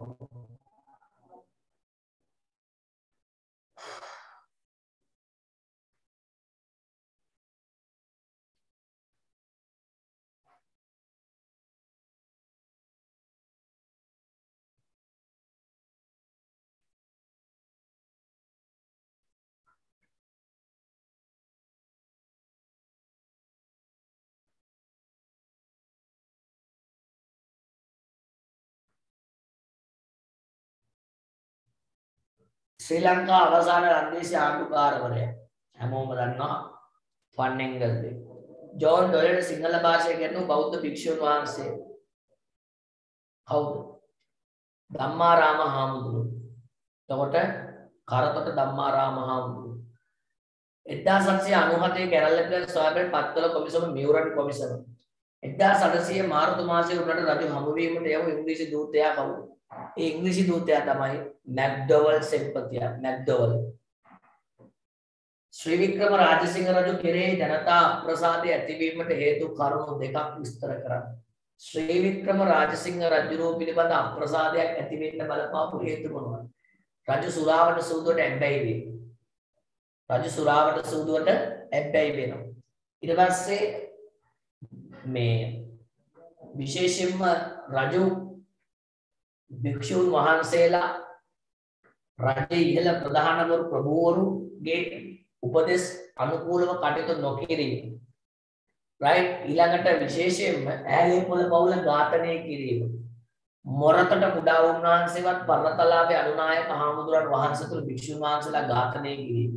ඒ වගේ හේතු සමුදායක් තියෙනවා. 48 බ්‍රිතාන්‍යයට එරෙහිව ඇති වූ දෙවන නිදහස් සටනට හේතු විශේෂයෙන්ම 18යි 48යි දෙකම හොඳට අපි අධ්‍යයනය කරන්න ඕනේ. මොකද 18 ලක්ෂණ 48 ලක්ෂණ 18 අරගලේ 48 අරගලේ ගැන හොඳට විපරම් කරගෙන යන්න ඕන අනිවාර්යයෙන්. හොඳයි. විශේෂයෙන්ම ඔබ මේ දකින ප්‍රශ්නයකට වැඩි අවධානයක් යොමු කරන්න. 78 ආණ්ඩුක අවස්ථාවේ ලංකාවේ විධායක ජනාධිපති ධූරයේ යෙදූ පුද්ගලයන් තිදෙනෙකු. ලංකාවේ විධායක ජනාධිපති ධූරයේ හොබෝපු පුද්ගලයෝ තමයි. මෛත්‍රීපාල සිරිසේන ඈ D B. Wijetunga Mahinda Rajapaksa Chandrika Bandaranaike Kumaratunga J R. Jayewardene Ranasinghe Premadasa. Gotabaya Rajapaksa ඔබවමින් ඉන්නවා. ABC සහ D වලින් දැක්කෙන තොරතුරු වලට අදාළ පුද්ගල නාම වරහන් තුලින් තෝරන්න. ශ්‍රී ලංකාවේ ප්‍රථම නාමික විධායක ජනාධිපති විලියම් ගෝපල්ලව විලියම් ගෝපල්ලව. ඊට පස්සේ නිදහස් අධ්‍යාපනයේ අප්පොච්චා අපිට අප්පච්චිලා තමයි ඉන්නේ. කවුද නිදහස් අධ්‍යාපනයේ නිර්මාතෘවරයා CWW කන්නංගර මැතිතුමෝ. ප්‍රථම බහුකාර්ය යෝජනා ක්‍රමය ආරම්භකයා තමයි ප්‍රථම බහුකාර්ය යෝජනා ක්‍රමය තමයි ගල්ලොය ව්‍යාපාරය. ඒකේ නායකයා තමයි ඩී.එස්. සේනානායක. මහවැලි සංවර්ධන අමාත්‍යාංශයේ ප්‍රථම ඇමතිවරයා. ඒ තමයි මහවැලි සංවර්ධන අමාත්‍යාංශයේ ප්‍රථම අමාත්‍යවරයා තමයි ගාමිණී දිසානායක මහතා. ගාමිණී දිසානායක මහතා. රටට ජාතියට වැඩක් කරපු මිනිස්සු ඉන්නවා කියන එක මතක තියාගන්න. මෙන්න මේ තියෙන දේ මේ ඔබ මේ දකින ප්‍රශ්න ගැන විශේෂයෙන්ම නිදහසෙන් පසු ලංකාවේ වී වගාව නගා සිටුවීම පිළිබඳ දේශීය කෘෂිකර්මාන්තයේ නගා සිටුවීම මේ වර්තමාන ගෝඨාභය රාජපක්ෂ මහත්තයාත් දේශීය කෘෂිකර්මාන්තයේ නගා සිටුවන්න ගත්ත ප්‍රධාන ක්‍රියාමාර්ගයක් තමයි කාබනික පොහොර හඳුන්වා දීම. සෑහෙන සනීපයිනේ අපිට නේද? හොඳයි. අධ්‍යාපන සෞඛ්‍යාංශවල වර්ධන නිසා නිදහසෙන් පසු ලංකා රජයක් විසින් ගත්ත ක්‍රියාමාර්ග. ඔය ඔක්කොම හොඳට කියව ගන්න.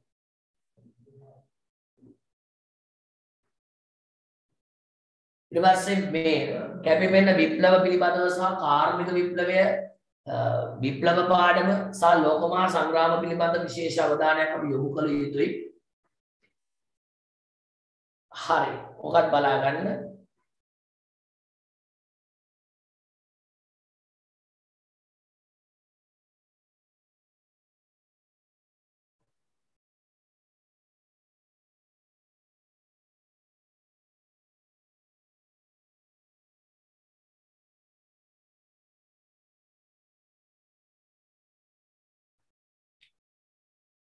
Right.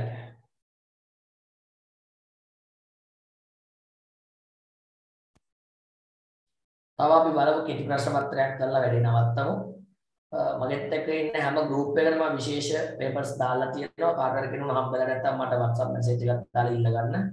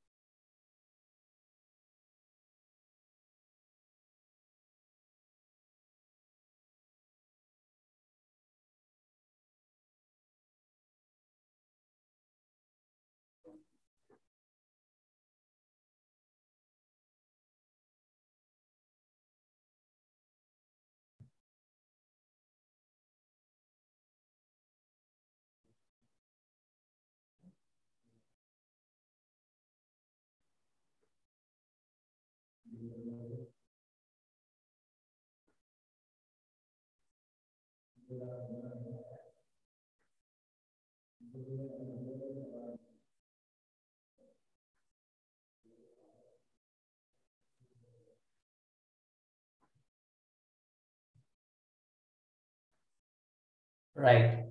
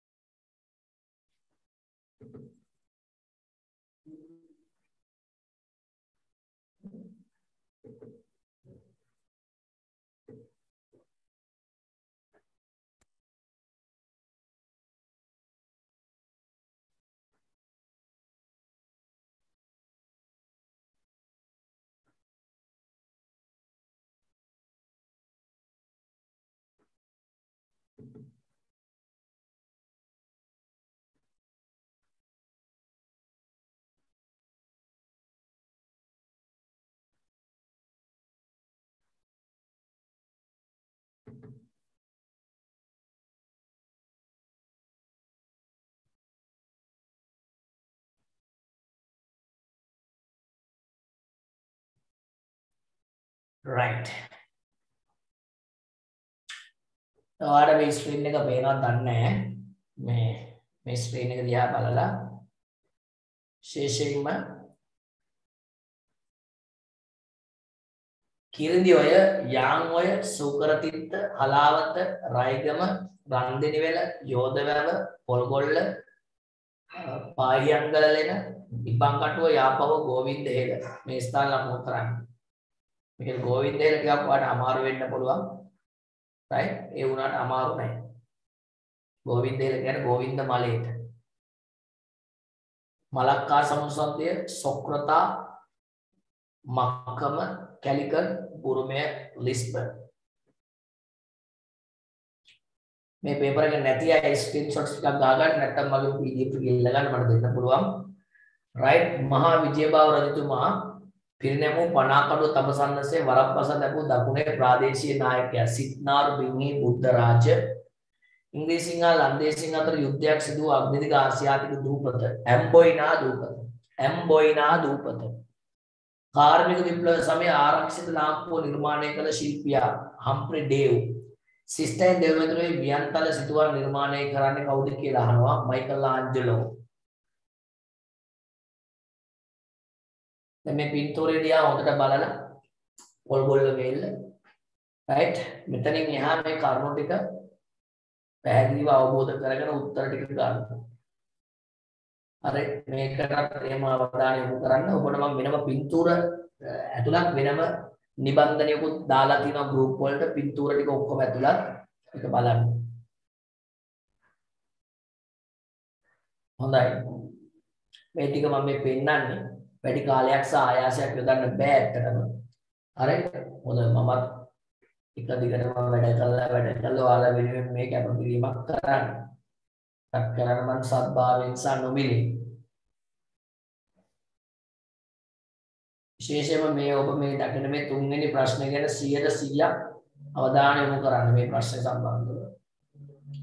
ඔය ප්‍රශ්න තුන් පාරක්වත් කරන්න.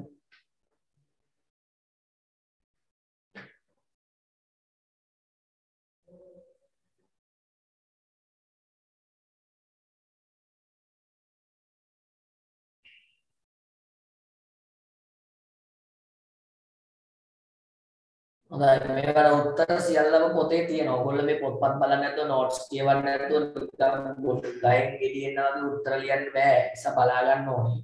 මම නම් කිසිම සහයෝගයක් දෙන්නේ නැහැ බැරි අයට. හේතුව තමයි මෙච්චර කාලයක් බම්බු ගහන්න බලන් හිටියේ. උඩ බලන් ඉඳලා එකපාරටම ටියුබ් ලයිට් එක වගේ වැඩ කරන්න නැති වෙන්න එපා. එහෙම බෑ වැඩ කරන්න. දැනුම තියෙනවා. එස් එකක් ගන්නත් ලකුණු 100ක් ගන්න ඕනේ 200. ඔබ දැන් දකින මේ ඊළඟ පස්වෙනි ප්‍රශ්නේ ගැන වැඩි අවධානයක් යොමු කරන්න.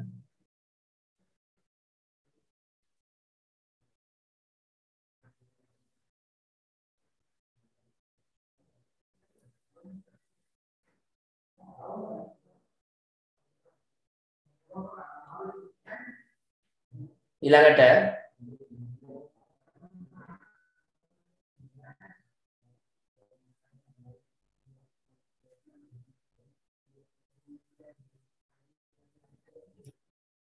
විශේෂයෙන්ම මේ හත්වෙනි ප්‍රශ්නය ගැන සැලකිලිමත් වෙන්න.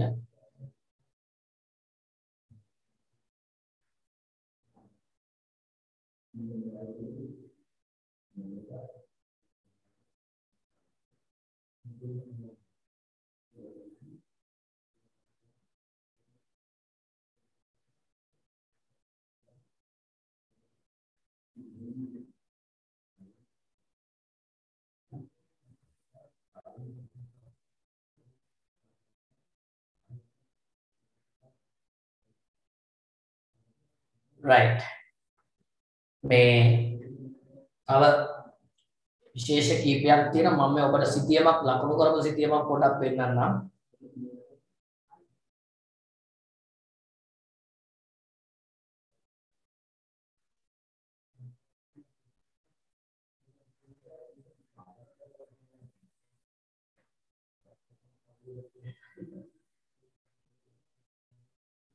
මේකෙත් ස්ක්‍රීන්ෂොට් එකක් ගහගන්න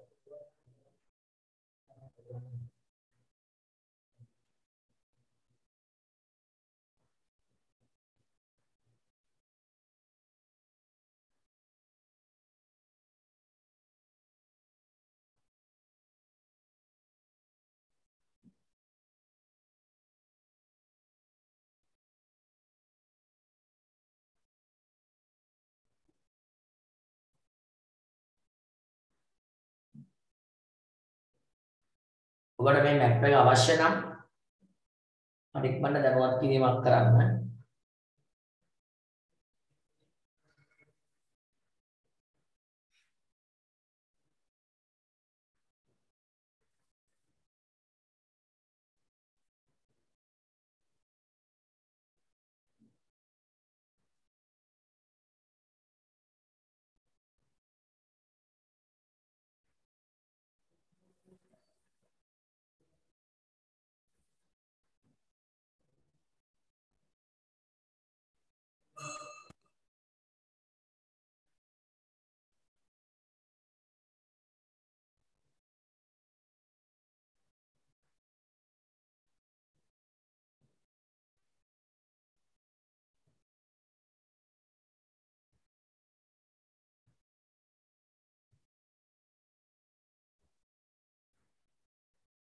Amen.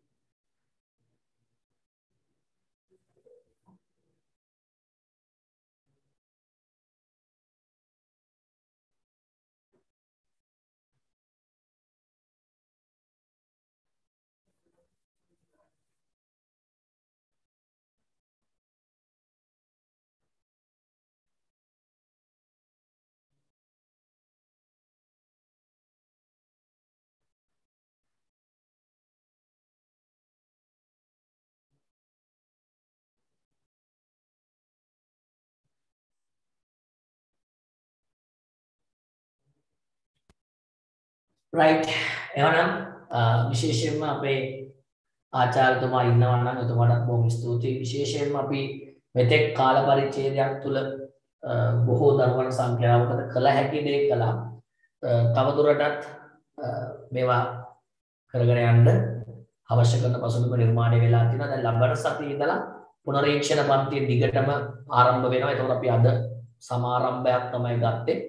එක පැත්තකින් අපේ ආචාර්යතුමයි මමයි මුළු ලංකාවේ ඉන්න පසු සාමාන්‍ය පෙළ ලියන 2022 විභාගය සඳහා පෙන්සින සියලුම දූ දරුවෝ වෙනුවෙන් අකණ්ඩ නොමිලේ මේ වැඩසටහන දිගටම පවත්වන දන්න නංගිලා මල්ලේ ඉන්නවා නම් දැනුවත් කරන්න. එහෙනම් ඔක්කොටම විශේෂම අපේ කාර්ය මණ්ඩලයට ස්තුතිවන්ත වෙනවා අපේ ශාන් නිමල්ක විජේරත්න ආචාර්යතුමාට ස්තුතිවන්ත වෙනවා. මම ඔයගොල්ලොත් එක්ක මේ සම්බන්ධ වුණා. ඔයගොල්ලන්ට තව ප්‍රශ්න පත්‍ර මොනවාරි අවශ්‍ය නම් මට දැනුවත් කරන්න මං ගාව ඕන හැටියේ ප්‍රශ්න පත්‍ර තියෙනවා. හරි. මේ ඔක්කොම දාන්න නැත්නම් අත්‍යවශ්‍ය දේවල් තියෙන නිසා.